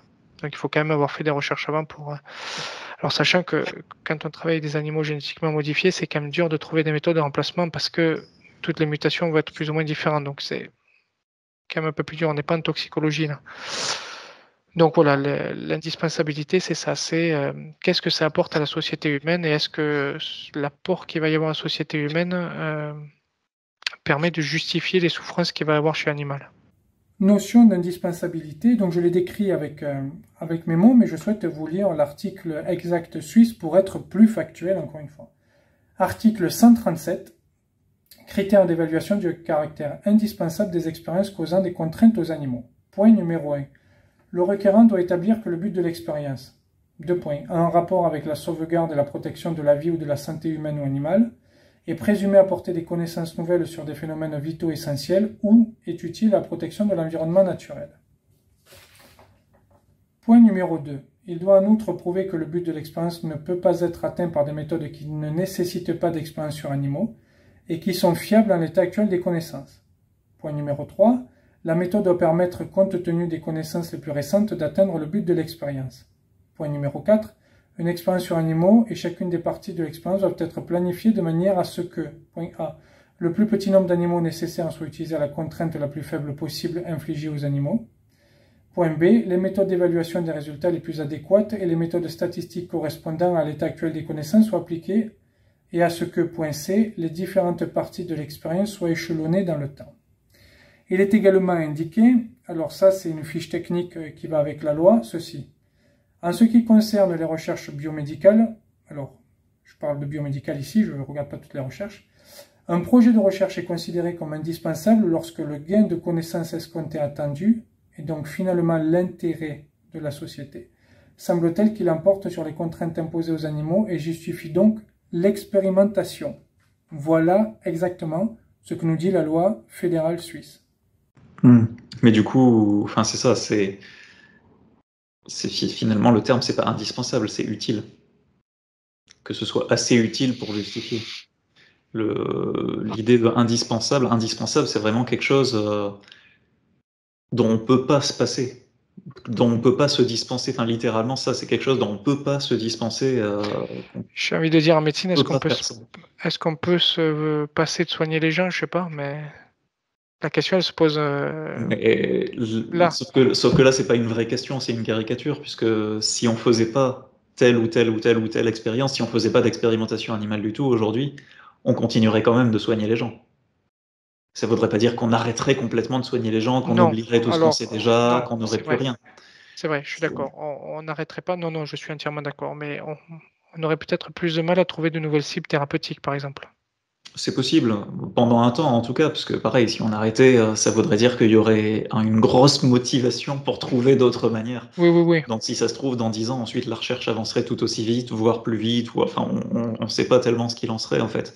C'est difficile de faire des suppositions. Euh, sans, pouvoir tester vraiment. Mais du coup, du coup c'est ça. Il y, a ce mot d'indispensable qui est là, mais qui, est, qui a largement été popularisé par euh, GIRCOR, EHARA et Speaking of Research. Enfin, aux États-Unis, c'est vrai qu'ils sont plus, ils en ont un paquet de lobbies euh, d'expérimentation animale qui sont plus actifs ce qui popularise pas mal ces expressions-là, c'est absolument nécessaire. Toutes les avancées médicales depuis un siècle ont été dues à l'expérimentation animale, des choses comme ça qui sont bah, déjà historiquement pas assez, assez douteuses ou pas évaluables, pas vérifiables euh, comme ça, mais qui derrière vont soutenir l'utilisation de mots comme ça. Ce qui fait que le public derrière, bah, qu'est-ce qu'il est censé penser si on lui dit euh, on fait de l'expérimentation animale quand c'est indispensable? Mais qu'on n'a pas le temps de passer dix minutes à lui expliquer un minimum ce que veut dire indispensable là-dedans, tout ce qu'on met derrière, tout ce qu'on se permet par défaut et tout le reste, bah, qu'est-ce que le public est censé penser? Euh, C'est indispensable, ok, je leur fais confiance. Ou alors, c'est indispensable, est-ce qu'ils se foutent de ma gueule? Et finalement, enfin, ça aide pas du tout le public à se décider sur quoi que ce soit, quoi, ni à avoir une vision. Euh, je, viens de définir indispensabilité par rapport à la licence suisse. Je ne sais pas en France comment ils définissent, mais je pense que c'est à peu près pareil, c'est-à-dire euh, voilà, qu'est-ce que qu'est-ce qui est on va dire nécessaire pour pouvoir un jour soigner tel type de pathologie. Je pense qu'on peut le définir comme ça un peu cette notion d'indispensabilité. Et du coup, il faut définir nécessaire aussi, et on en revient au même au même souci. C'est-à-dire la pathologie en question, si les expériences ne sont pas faites, ça ne veut pas dire qu'elle sera jamais soignée. Et si les expériences sont faites, ça ne veut pas dire qu'elle va être soignée non plus, puisque les expériences peuvent ne mener à rien finalement, peuvent, enfin, il y, a plein d'aléas. Je suis entièrement d'accord, bien sûr, bien sûr. Donc c'est pour ça, mais c'est les mots nécessaires et indispensables. Vraiment, je trouve c'est un, c'est une énorme erreur euh, si on veut avoir une, bah, si on veut avoir une discussion sincère sur ce sujet-là. C'est des mots qui sont à bannir en fait. Disons que la vision que moi j'ai, bon, je viens quand même du monde d'abord du remplacement des animaux, puisque mes premiers boulots, c'était de trouver des méthodes pour remplacer les animaux. Et ensuite, euh, comme je dis, j'ai voulu euh, très donc après la thèse. Donc en fait, c'est venu quand même euh, très tard les animaux. Ce, que je constate depuis que je travaille les animaux, c'est que les pathologies génétiques sont quand même difficilement compréhensibles si on n'arrive pas à, rentrer dans le système profondément moléculaire. Et ça, c'est assez difficile chez l'humain c'est assez difficile chez lui-même parce que on peut difficilement prendre des tissus, etc. Après, peut-être qu'il nous faudrait plus de donneurs, euh, je veux dire cliniquement morts, qui donnent des tissus et qui nous permettent à nous peut-être d'avancer plus vite. Moi, je travaille sur le, sur le rein notamment, d'étudier de, des reins humains et puis d'avancer plus vite. Mais disons que d'avoir un animal entier qui est, qui est génétiquement modifié depuis la naissance nous permet de, comprendre l'évolution de la pathologie déjà depuis la naissance et puis de voir, par exemple, comme je parlais des diètes, etc. Euh, sur le système cardiovasculaire, euh, vu comment on mange assez mal, c'est quand même euh, important de comprendre comment la diète agit là-dessus. Et voilà, alors je pense que si on devait réfléchir à des méthodes alternatives, je dirais que des, que des organes de donneurs peuvent être utiles et que si on en avait suffisamment, peut-être que certaines manips seraient supprimées et qu'on aurait moins besoin d'animal. Mais je pense que pour un organisme entier, quand même, avoir un animal, ça reste pour un chercheur plus ça permet de, se poser plus de questions et de voir plus de phénomènes qu'on n'aurait peut-être pas vus. Hmm. En même temps, euh, alors il y a deux choses. Il faut que je, que je hiérarchise dans, quel sens je prends. Il y a le côté, euh, il y a le côté remplacement euh, bah, à étudier. Justement, on mange très mal. Mm-hmm. Oui, mais du coup, le souci, c'est Enfin, si on veut éviter toutes les conséquences de se manger très mal, est-ce que l'argent n'est pas mieux dépensé à lutter contre se manger très mal que à chercher comment ça fonctionne, se manger très mal Enfin, qu'est-ce que ça a comme conséquences sur les reins, sur les comme ça? Alors, je suis entièrement d'accord, mais quand un patient vient nous voir, je rappelle que je travaille dans un hôpital, euh, je ne vais pas lui dire, écoute, euh, la prévention, ça aurait été bien il y a 20 ans, là, tu es malade, euh, j'ai rien à te donner, ça paraît compliqué. Oui, en même temps. je suis non, je suis d'accord sur la prévention. Ça, je suis pour, pour les pathologies que j'étudie, je suis entièrement d'accord pour la prévention. Euh, mais les pathologies cardiaques et rénales, on en a tellement en ce moment qu'il faut quand même qu'on arrive à les comprendre pour pouvoir euh, soigner les patients qui sont atteints maintenant. Oui, oui, mais certes. Mais du coup, qu'est-ce qui justifie de le faire sur des, de, sur des rats, sur des primates, sur n'importe quel animal, plutôt que de le faire sur des humains? Faire les mêmes expériences si on élevait des humains avec ces pathologies-là, des humains génétiquement modifiés. Je suis contre aussi, hein, je... je le reprécise quand même à chaque fois que je parle de ce genre de choses. Mais, mais, voilà, qu'est-ce qui, qu'est-ce qui justifie plus de le faire sur un, rat que de le faire sur un humain qu'on aurait élevé pour ça? Euh, J'ai presque envie de dire la barrière de l'espèce. Hein. Je pense qu'on. Euh, la barrière de l'espèce, je pense qu'on moralement on aura plus de mal à le faire sur un humain que sur, euh, sur un animal, même mammifère, qu'on élève. Oui, mais ça intuitivement. Mais l'intuition, c'est jamais un bon guide moral. Oui, alors je suis entièrement d'accord que techniquement, si je parle, et là encore une fois, je ne dis pas qu'il faut faire des manips sur l'humain, attention, mais techniquement, l'humain serait un meilleur modèle pour lui-même que n'importe quel animal. Oui, c'est ça, si on faisait tout un tas d'humains génétiquement modifiés, qu'on gardait dans les labos, etc., et qu'on faisait des reproductions sélectives, il y aurait des modèles énormes, il y aurait des, ah des avancées possibles en science qui seraient beaucoup plus grandes que sur l'animal.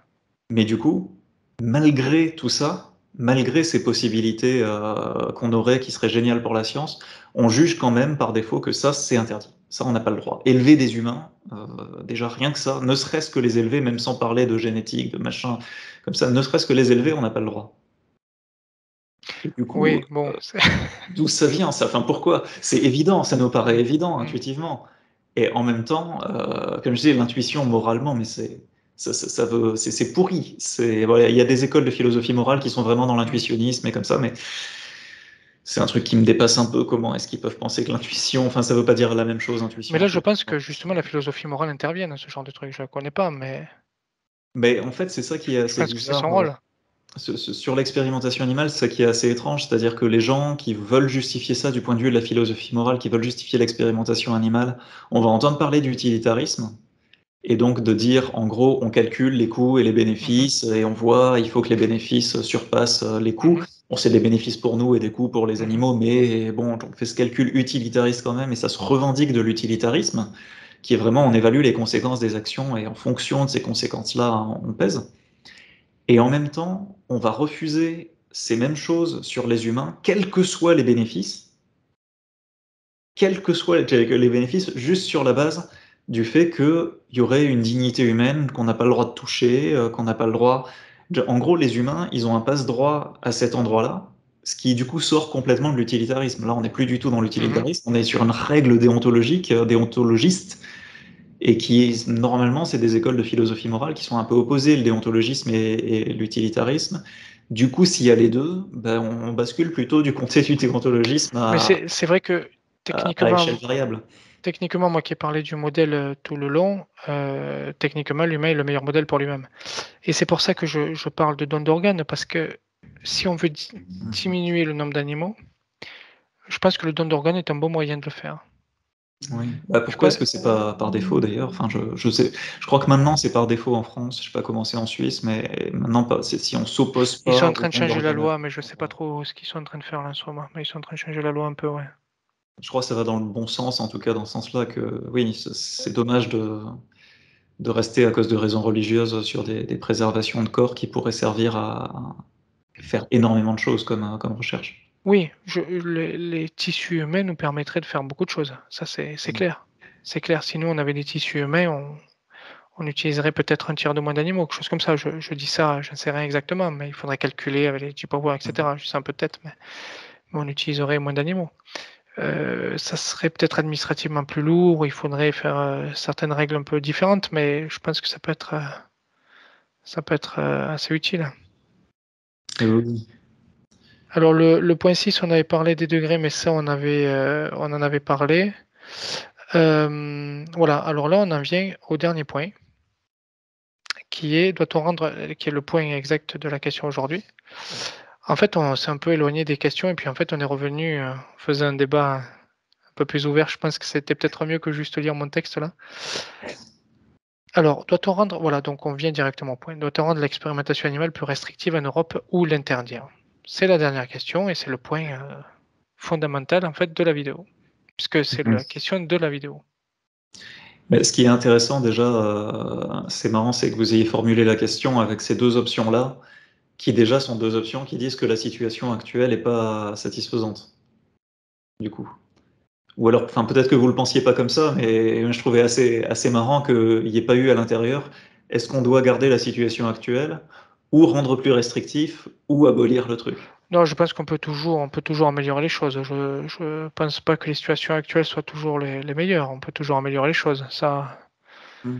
ça c'est sûr. J'ai parlé d'amélioration, par exemple, quand on parlait de, quand on parlait du CO2, euh, que je vous ai dit, là en Suisse, en tout cas, c'est en train d'être revu. On se demande si le CO2, c'est vraiment, euh, ça fait pas souffrir l'animal, puisque pendant longtemps, on a dit que le, le CO2, ça anesthésiait lentement l'animal, puis après, il, meurt. Ah, mais c'est ce qu'on nous dit en cours, hein, c'est pas moi qui invente ce genre de truc. hein. Bon. Oui, oui, enfin, quand on entend les, les cochons hurler à la mort dans les, dans les caves, dans les cuves, euh, Bon, j'ai jamais vu de cochon. euh, moi, mes rats hurlent pas, mais ce que je veux dire, c'est qu'on on change toujours. En fait, on est toujours en évolution. On essaie toujours de, changer un peu la façon dont on procède pour le, les prélèvements, pour l'anesthésie. On, change un peu de machine aussi qui nous permet. Je, vais prendre par exemple pour la, la tension artérielle. À l'époque, quand on prenait, à l'époque, c'était il y a 10-15 ans, quand on prenait tension artérielle, on était obligé de sacrifier l'animal, c'est-à-dire qu'on lui mettait des, des canules directement au niveau du cœur et des, des reins. On- on- donc on anesthésie animale. Maintenant, vous avez des électrodes externes qui permettent. Alors c'est juste un petit truc qu'on insère sous la peau. C'est la télémétrie. Et en fait, on n'a plus besoin de sacrifier l'animal pour, euh, pour sa pression artérielle. Donc on évolue aussi et les situations évoluent toujours. Donc je ne crois pas que la situation actuelle soit le plus favorable possible. Je pense que ça va continuer à évoluer et que Hmm.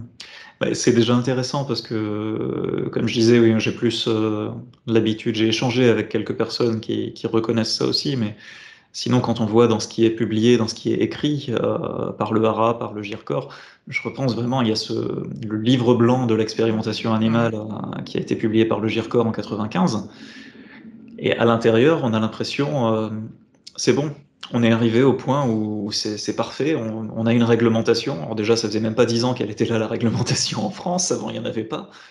Et mais c'était bon, c'était arrivé au point où éthiquement, on peut pas faire mieux, on est, nickel. Et puis les animalistes, ils hallucinent. Et euh, donc quand même, oui, dans tous les cas, voilà, effectivement, il y a le, strict minimum, ça semblerait déjà que la réglementation aille nettement plus loin et qu'elle soit revue beaucoup plus régulièrement. Alors c'est peut-être beaucoup plus facile en Suisse, euh, ça a l'air euh, de fonctionner de manière nettement plus fluide, les modifications de réglementation, vu que c'est plus local. Euh, c'est vrai qu'à l'échelle de l'Union européenne, c'est un peu, c'est tellement une grosse Mhm. machine que si on veut faire bouger les choses, c'est des, des délais énormes et des, des- des mobilisations énormes. ce qui fait d'ailleurs des, luttes de pouvoir qui sont pas forcément équilibrées. Quoi. Mais euh, moi, évidemment, je serais plutôt pour l'abolition, pour l'interdiction totale. Comme je disais, je parlais d'un calendrier.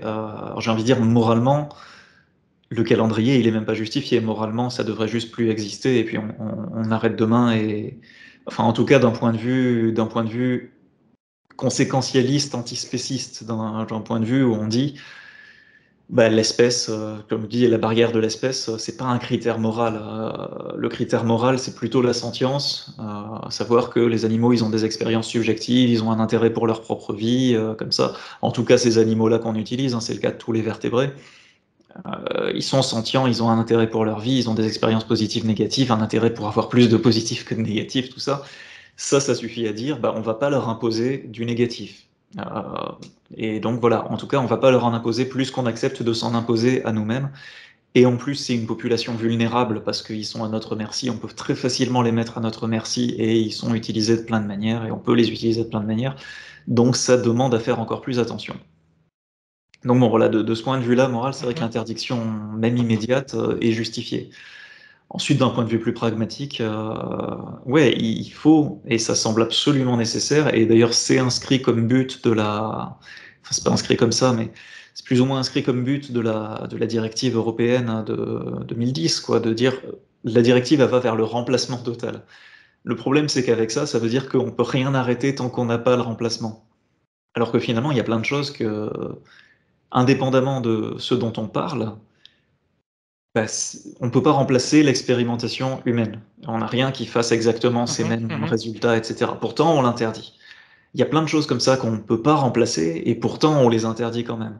Donc il ne faudrait pas que le but ce soit juste le remplacement total, il faut que le but ce soit l'interdiction. Et on met le calendrier pour que ça coïncide le plus possible avec le remplacement total, pour que ça permette euh, bah, à la science de continuer d'avancer et, voilà, c'est bien ce qu'il faut noter à la science de continuer d'avancer. Après, je, pense que l'interdiction pourra se faire que par l'évolution de la recherche. C'est-à-dire que le calendrier, oui, mais c'est-à-dire que si on parle d'un calendrier politique, il faut parler plutôt d'un calendrier de recherche. Parce que le politique peut influencer sur la recherche avec les financements, avec certaines obligations, mais la recherche a aussi son temps propre. Et on l'a vu avec l'histoire du Covid, le politique pouvait faire tout ce qu'il voulait en disant taper du poing sur la table une fois au Médoc, euh, la recherche a son temps propre. Donc il ne faut pas oublier ça aussi, il ne faut pas oublier le, le temps qu'a besoin de la recherche pour trouver telle ou telle nouvelle méthode, tel ou tel nouveau truc, telle ou telle euh, chose, il faut, il faut penser à ça. Si on veut un calendrier, il faut que le calendrier soit fait aussi en fonction du temps de la recherche, et pas seulement du temps politique. Et en même temps, ça c'est un point de vue qui suppose que tant qu'on n'a pas le remplacement, c'est OK d'utiliser les animaux.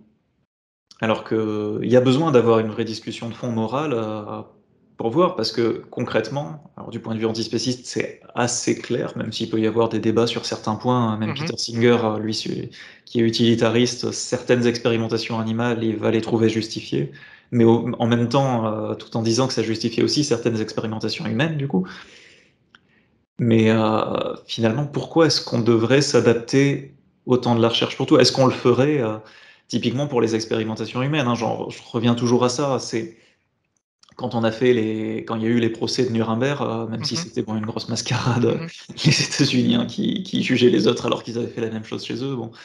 Mais quand il y a eu ça, on n'a pas dit on va attendre d'avoir mieux, on peut continuer ça, mais seulement quand c'est nécessaire, et on va attendre d'avoir mieux dit ça, c'est fondamentalement un mal.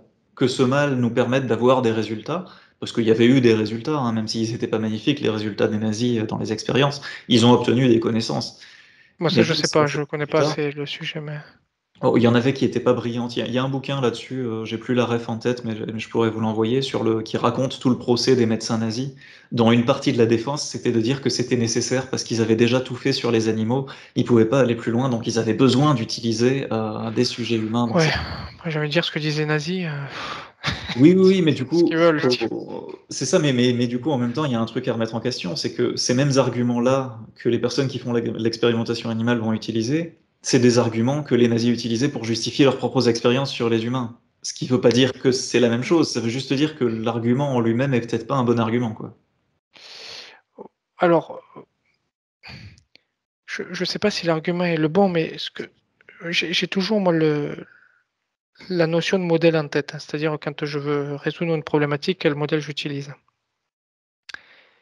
Et, on a beaucoup parlé dans, ce débat de modèle. Le modèle est souvent difficile à avoir et long à avoir, disons. Et je dis pas tant que j'ai pas tous les modèles de remplacement, il faut pas que j'utilise l'expérimentation animale. Je dis juste si on veut résoudre telle question, il faut pas aller trop vite, disons dans le vouloir le remplacer ou pas. C'est ce que je dis. Oui, en même temps, il y aura toujours, comme je disais, quelle que soit, quelle que soit la question, euh, il y aura toujours d'autres manières d'aborder qui seront pas forcément la recherche biomédicale, qui peuvent être autre chose. Peut-être que la recherche biomédicale apporterait des choses en plus, mais en même temps, c'est de l'argent qui va pas ailleurs aussi. C'est pour, ça qu'on ne peut pas vraiment considérer que si on arrêtait l'expérimentation animale même demain, ça ne voudrait pas forcément dire que les problèmes qu'elle aurait peut-être permis de résoudre ou qu'elle aurait peut-être aidé à résoudre euh, de certaines manières, euh, ces problèmes-là, peut-être qu'ils seront résolus d'une autre manière aussi. Ça, je suis entièrement d'accord. Et c'est là, du coup, qu'est-ce qui justifie encore de mettre des financements là-dedans, dans, l'utilisation d'animaux, dans des souffrances d'animaux, alors que d'autres euh, choses, d'autres approches qui seraient pas ça, même qui seraient pas ça, dans le cas où on n'a pas, parce qu'il y aurait quand même d'autres choses, il y aurait des modèles alternatifs qui se développeraient forcément, mhm. il y aurait d'autant plus de mhm. recherche que ce serait interdit, euh, de recherche d'autres méthodes. Hein. Mais du coup, il y aurait aussi d'autres approches qui se développeraient. C'est là. Ah, moi, je, suis pour que la recherche euh, se développe dans tous sens et qu'on mette l'argent euh, dans la recherche autant qu'il faut. Ça, je suis entièrement d'accord, et même dans la recherche d'autres méthodes. méthodes. Mais le, je dis juste, par, exemple, quand on a fait le, le monocyte activation test, en, gros, ça a été trois années de recherche pour mettre au point la méthode. Trois années, c'est pas très long. Mais c'est juste que entre l'utilisation du lapin et que ça soit validé, mis en place, etc., il faut quand même attendre le temps de la recherche qui est trois années. Ça se fait pas en un claquement de doigts, disons, de trouver un nouveau modèle pour, euh, euh, euh, remplacer l'expérimentation animale. C'est là où je parle du temps de la recherche. Ce qu'il ne faut pas imaginer, si on dit par exemple on fait un calendrier sur 10 ans ou 15 ans, que la plupart des méthodes pourront être remplacées en 10 ans ou 15 ans. Je dis, il faut penser que le développement est assez long de nouveaux modèles. Oui, oui, en même temps, sur 10 ans ou 15 ans, enfin, on le voit sur, le, euh, sur les cosmétiques, bon, ça s'est étalé sur euh, plus longtemps que ça quand même, mais c'est pour ça que je disais, le, calendrier, il peut bouger aussi, mais le fait de ne pas avoir de calendrier, ça fait, ça laisse un champ libre à, tout et n'importe quoi, du coup. Ça veut dire on n'a pas, on n'a pas de date de fin, donc quelle est la motivation à faire bouger les financements vers le développement des alternatives? Mais la motivation, ça peut être la recherche elle-même aussi. Oui, mais visiblement, c'est pas tellement le cas, parce que c'est pas. J'ai dit au début. mais... J'ai dit au début, et c'est quelque chose d'important qu'il faut se rappeler, c'est que l'expérimentation animale, ça coûte très cher. Parce qu'il y a le stockage des animaux, il y a l'élevage des animaux, il y a la reproduction, il y a les animaliers, il y a les, salles elles-mêmes. C'est les expérimentations qui coûtent les plus chères. Enfin, en tout cas, en biomédecine. Si on dit qu'on veut développer de l'alternative, ça coûtera toujours moins cher de développer l'alternative que l'expérimentation animale. Mhm. C'est pour ça que je dis il faut faire les deux en parallèle, mais il faut prendre en compte euh, le temps de passage de l'un à l'autre. C'est pas que le financement qui fera le passage de l'un à l'autre, c'est vraiment le temps de développer l'histoire. Et les chercheurs peuvent être intéressés développer, de développer des alternatives. Tous les chercheurs seront intéressés pour développer des alternatives. Je connais pas un type qui vous dira dans 40 ans, qui commence sa carrière, qui vous dira dans 40 ans, j'ai toujours envie de travailler des animaux. Ce que je veux dire, c'est que si entre-temps, il y a des choses euh, qui permettent d'aller plus vite sur certains types de manip, d'avoir des résultats plus rapidement, de publier plus rapidement, d'avoir des résultats plus sûrs, les gens valideront ça. Oui, en même temps, vous dites qu'il n'y a personne qui serait pas intéressé ou qui comme ça. Euh, bon, c'est un peu une troll, mais la personne qui a répondu aujourd'hui sur votre euh, Twitter quand vous avez annoncé le, débat, comme quoi il mm-hmm. faudrait soutenir les chercheurs, etc. Bon, c'est voilà, mais c'est une personne qui, elle, dit régulièrement qu'il vaut mieux dépenser l'argent en expérimentation animale plutôt que dans le développement d'alternatives. Ça, c'est pas ma position. Je suis, chercheur en je suis chercheur en expérimentation animale. Je, pense que bon, je pense que je verrai pas la fin de l'expérimentation animale si elle a lieu un jour de, mon vivant de la carrière, on va dire. Il me reste en gros une trentaine d'années avant d'arrêter. Je pense que dans les 30 ans, ça m'étonnerait que, que je vois ça. Mais je pense que tous les chercheurs peuvent contribuer à ça par le développement de méthodes alternatives, parce que ça peut exister, il peut y avoir le, il peut y avoir poussé. Maintenant, je, je, je suis pas contre l'idée du calendrier, mais je suis contre l'idée d'un calendrier politique. C'est là où je veux en venir, de dire l'État dit dans 20 ans il faut que ça s'arrête, donc dans 20 ans il faut que ça s'arrête. Je ne crois pas que ce soit politique de donner cette date-là, mais plutôt à des organisations de recherche de le donner.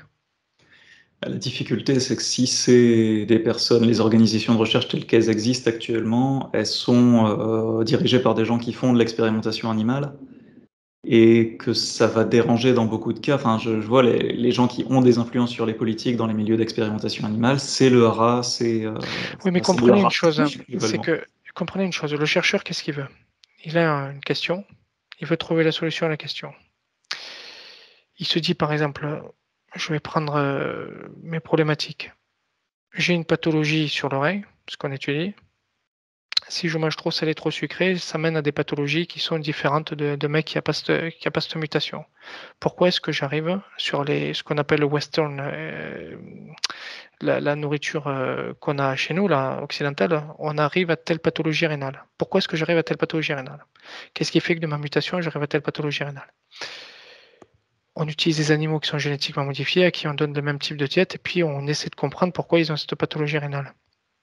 Si demain j'arrive à trouver des méthodes alternatives qui me donnent le même résultat, et qui vont plus vite à me donner les mêmes résultats parce que je n'ai pas élevé des animaux, je n'ai pas pensé au breeding, je n'ai pas pensé au stock, etc. Parce que élever des animaux, ça prend, ça prend quand même du temps de penser rien qu'à l'élevage lui-même. Pour peu qu'on veut bien le faire et pas faire naître 10 000 animaux pour en utiliser 10 et tuer les 900, les 9000 et quelques autres le chercheur il sera pour. Puisqu'il va répondre à sa question. Il mettra moins de temps, il aura moins de pensées annexes, donc il sera pour. Certainement, mais c'est qui qui va découvrir cette méthode alternative? Qui c'est qui va avoir un intérêt à chercher cette méthode alternative, si ce n'est le chercheur lui-même? Oui. Si c'est pas l'équipe de recherche, euh, quand il y a un projet qui commence, c'est un truc qui me paraîtrait, bon, j'en ai parlé à d'autres personnes qui trouvaient ça moins évident, mais c'est un truc qui me paraîtrait logique que quand un projet de recherche commence qui va utiliser des animaux, il y ait par exemple 25% du budget qui soit dédié à une personne qui va chercher comment est-ce qu'on pourrait développer une méthode alternative spécifiquement pour ça. Alors, juste un point, euh, en tout cas dans mon équipe, euh, ça se passe comme ça, c'est-à-dire qu'on réfléchit pas à comment développer la méthode alternative, mais on cherche en permanence la bibliographie, etc., si on ne peut pas utiliser autre chose aussi. Oui, oui, ça c'est ça c'est normal, ça c'est logique. Mais qui est en plus de ça une partie du budget qui soit quand on va utiliser des animaux, le minimum qu'on leur doit, c'est de chercher comment la prochaine fois on pourrait ne pas les utiliser. En Alors oui, ça je suis d'accord. mais qu'en parallèle, il y, a, mm. il y, a, besoin. Ça permettrait déjà que les budgets soient plus équilibrés, parce que comme ça, ça voudrait dire dès que des gens utilisent des animaux, eh ben, ils utilisent une partie du budget pour sortir de l'expérimentation animale. Oui, ça, ça, je suis d'accord avec ça. Oui, oui. Non, non, ça, ça peut être envisageable largement, je pense. Et puis au moins, ça permettrait, parce qu'actuellement, les, les financements de développement de méthodes alternatives, ça va quand même énormément vers la toxicologie, parce que c'est le plus évident. Enfin, c'est là qu'on a les. Mais c'est là où c'est les domaines qui mangent le plus d'animaux aussi, qui utilisent le plus d'animaux aussi. Bah, c'est 30%, donc c'est beaucoup. Ça, ça, fait partie des trois gros domaines, mais euh, recherche fondamentale et recherche appliquée, euh, c'est 30% aussi chacune. En gros, hein, plus ou moins, en tout cas sur France et, Union européenne. Donc toxicologie, c'est 30%, c'est pas mal si on arrive à en sortir, hein, clairement. Euh, mais du coup, c'est beaucoup plus que 30% des financements qui vont vers ça. Hmm. Alors que du coup, euh, les méthodes alternatives ne, bah, en recherche fondamentale, euh, par exemple, pour chercher des trucs, c'est plus compliqué parce que la recherche fondamentale, c'est un peu le bordel aussi, conceptuellement, pour trouver comment est-ce qu'on étudierait tel ou tel ça, doit être affreux, quoi. Je prétends pas savoir du tout comment faire euh, ou quoi. Mais qu'il puisse y avoir, c'est qu'à chaque fois ce soit dirigé, quoi. Je vais utiliser des animaux, ah bah ouais, bah, je leur dois, le, minimum que je leur dois, c'est de trouver aussi. Euh, oui, non, mais ça, je pense que c'est faisable. Hein. Je pense que les chercheurs seraient pour. Je pense que les chercheurs seraient pour. Je sais pas, parce que du coup, ça divise quand même les financements du reste, quoi. Ça voudrait dire qu'il faudrait qu'ils dédient une personne de leur équipe ou qu'ils Il faudrait les augmenter, les financements, surtout. Oui, alors ça c'est le problème qu'on a partout, oui. De manière générale. Un chercheur, on lui dit pas on va diviser les financements, il faut dire on va multiplier le financement. On n'aime pas la division, nous. Hein. Et oui, oui, mais c'est bien le souci du coup, parce que multiplier les financements, clairement, ça arrivera pas, et puis on n'est pas tellement dans une perspective. Euh, enfin, on verra, les, élections arrivent, peut-être qu'on va se retrouver. non, en réalité, en réalité, il y, a une, il y a une façon de faire, euh, parce qu'on parle beaucoup du public. Euh, ça serait d'avoir des coopérations public-privé. Parce que le privé a tout aussi intérêt à diminuer la taille de ses animaleries. Oui, je ne sais pas s'il a un très grand intérêt à le faire euh, sur, le, sur le long terme, peut-être. Mais euh, sur le court terme, dépenser plus d'argent pour trouver quelque chose qui pourrait éventuellement lui faire euh, dépenser moins d'argent après, je suis pas sûr que mais l'industrie pharma quand même investit sur le long terme. Quand on a quand on a une cible thérapeutique, le temps que le médicament sorte, il y a une quinzaine d'années ou une vingtaine d'années qui mmh. se passent. Donc l'industrie pharma a l'habitude de, de parler au moins en deux décennies pour chaque projet. Après, sur le développement des, alternatives côté privé, euh, ce qui a bien marché dans les années 80, c'est quand il y a eu des grosses pressions qui ont été mises. Euh, alors, c'était principalement sur les cosmétiques, mais les, pubs qui mentionnaient Revlon euh, et, les choses comme ça, en montrant ce qui était fait aux animaux, quoi. Et du coup, là, là, l'industrie avait un vrai intérêt à chercher des alternatives parce que si elle en cherchait pas, ça voulait dire qu'elle continuait de faire ces expériences-là et que le public savait. Oui, mais par exemple, pour, le, aussi, quoi pour l'interaction médicamenteuse où j'ai travaillé pour Pierre Fabre avec. Il n'y a pas eu de campagne de pub qui disait interaction médicamenteuse, on utilise des mm. animaux et tout, mais les méthodologies coûtaient tellement moins cher à l'industrie pharma que c'était préférable pour eux et ça allait plus vite de développer ces méthodologies. Moi, j'étais employé pour développer cette méthodologie. Donc, il y a quand même des industriels qui pensent euh, largement à ça et qui disent on va développer telle technologie de remplacement parce qu'il y a quand même une utilité euh, financière et puis de temps surtout derrière. Donc c'est important de, de voir le temps aussi que ça fait gagner. Oui, mais tant mieux du coup qui, qui en a qui le dans Parce qu'on parlait de, de, de, Monocyte Activation Test, la première méthode que j'ai mis en place. Lorsqu'on faisait test sur lapin, il fallait 7 jours pour avoir les résultats. S'il y a des pyrogènes ou pas. Avec la méthode in vitro, il fallait 6 heures. Oui, Et oui, oui c'est sûr, quand on attaque directement. 6 euh, heures, j'ai un résultat, 7 jours, j'ai un résultat. Euh, hum. Voilà. Oui, il n'y a pas photo. En 7 jours, j'utilise, je fais 7 fois le test. Enfin, je veux dire, je fais 7 tests différents, j'ai 7 composés différents et pas un seul. Donc, il y a aussi. Alors, en fondamental, ça sera plus dur, je suis d'accord, mais tout ce qui est toxico, tout ce qui est euh, préclinique, etc., la méthodologie euh, hors animaux fait gagner beaucoup de temps et donc beaucoup d'argent. Oui, oui, les screenings euh, de, des, molécules avant, euh, c'est sûr que ça évite d'avoir à tester encore plus. Mm. Maintenant, maintenant voilà, c'est où sont, où sont les développements de méthodes pour la recherche fondamentale, pour remplacer dans la recherche fondamentale Ça, ça sera beaucoup plus dur, la recherche fondamentale, ça je suis d'accord, ça sera beaucoup plus dur. Mais du coup, ça veut dire aussi que à un moment, il va falloir accepter d'arrêter l'expérimentation animale pour des raisons morales qui, globalement, euh, pardon, Ouais, je vais devoir arrêter. Hmm. Mais je pense qu'on a tout dit à peu près, non? Je pense qu'on est quasiment au bout. Il y a un truc que j'ai oublié de mentionner tout à l'heure, c'est vous me disiez de me présenter, je n'ai pas parlé de ma, chaîne. Hmm. c'est dans ce sens-là. ma chaîne La Volière des écureuils bleus, juste que, le, nom soit mentionné. Oui, mais ça sera mis en, un lien. Hier soir, on a oublié de parler euh, de ma chaîne, La Volière des écureuils bleus, euh, en tout cas du nom de la chaîne. Euh, du coup, je rajoute un petit quelque chose là-dessus euh, pour terminer.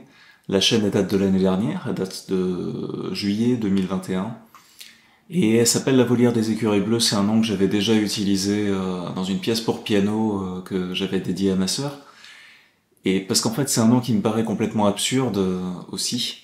d'une part j'adore les écureuils, donc ça, ça aide. Le fait qu'ils soient bleus, c'est déjà bizarre. Et puis la volière, ça, ça m'évoquait des, des, écureuils à moitié volants euh, dans des volières. Il faut savoir que les volières, c'est des modes de détention qui sont utilisés dans les laboratoires pour euh, des chats, pour des primates, euh, etc. On appelle quand même ça des volières, du coup. Mais là, pour des écureuils, voilà, j'imaginais ces écureuils à moitié volants, et puis ça collait bien avec ce, cette image que j'ai d'un jeu vidéo qui me tient particulièrement à cœur, qui est Final Fantasy VII, avec euh, l'antagoniste principal qui a une seule aile et ce qui est absolument ridicule pour voler euh, concrètement. Et donc voilà, j'imagine ces écureuils. Euh, j'ai mon petit écureuil euh, qui a qui a une seule aile lui aussi du même côté d'ailleurs, comme ça. Et puis j'ai celui-là qui j'ai pas encore greffé d'aile, mais mais ça va venir. Donc voilà, la volière des écureuils bleus, c'était pour ça, pour ce, cet aspect complètement absurde d'avoir ces animaux dans ces conditions-là et c'était pour pouvoir euh, questionner ça de cette manière-là.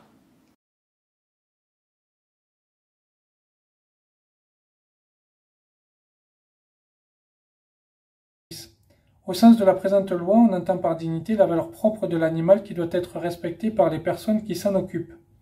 Il y a atteinte à la dignité de l'animal lorsque la contrainte qui lui est imposée ne peut être justifiée par des intérêts prépondérants, il y a contrainte notamment lorsque des douleurs, des maux ou des dommages sont causés à l'animal lorsqu'il est mis dans un état d'anxiété ou avili, lorsque l'on lui fait subir des interventions modifiant profondément son phénotype ou ses capacités ou encore lorsqu'il est instrumentalisé de manière excessive. Voilà ce que le droit suisse entend par dignité. juste un petit mot pour dire par rapport à cette notion de dignité. Euh, la définition là me choque particulièrement dans la mesure où on a comme ça, il y a atteinte à la dignité de l'animal lorsque la contrainte qui lui est imposée ne peut être justifiée par des intérêts prépondérants. Et c'est quelque chose qui sous-entend que la dignité de l'animal n'existe que tant qu'on n'a pas envie de l'utiliser pour autre chose qui peut nous être utile. Et donc les intérêts prépondérants sera toujours les nôtres globalement dans ce cas-là. Donc il y a un vrai problème avec la notion de dignité dans ce cas-là, puisque si on parle de la dignité humaine et qu'on le dit qu'elle disparaît ou qu'elle est atteinte quand on ne peut pas la justifier, euh, quand on ne peut pas justifier ça par des intérêts prépondérants, ça paraît étrange. C'est-à-dire la dignité est censée être quelque chose qui est essentiel à la personne, au sujet, au sujet d'une vie dans, dans les milieux déontologistes. Là, on a quelque chose qui disparaît euh, sur la simple notion d'utilité pour nous, sur la simple notion d'intérêt prépondérant, euh, sans qu'il soit très bien défini. Bon, de manière générale, je précise quand même que la notion de dignité, euh, globalement, ne me convient pas, me paraît être très libérale et très délétère à la lutte contre les discriminations en général pour plein de raisons. Mais la définir comme ça, l'intégrer comme ça, me gêne encore plus que sa simple existence. Mm-hmm.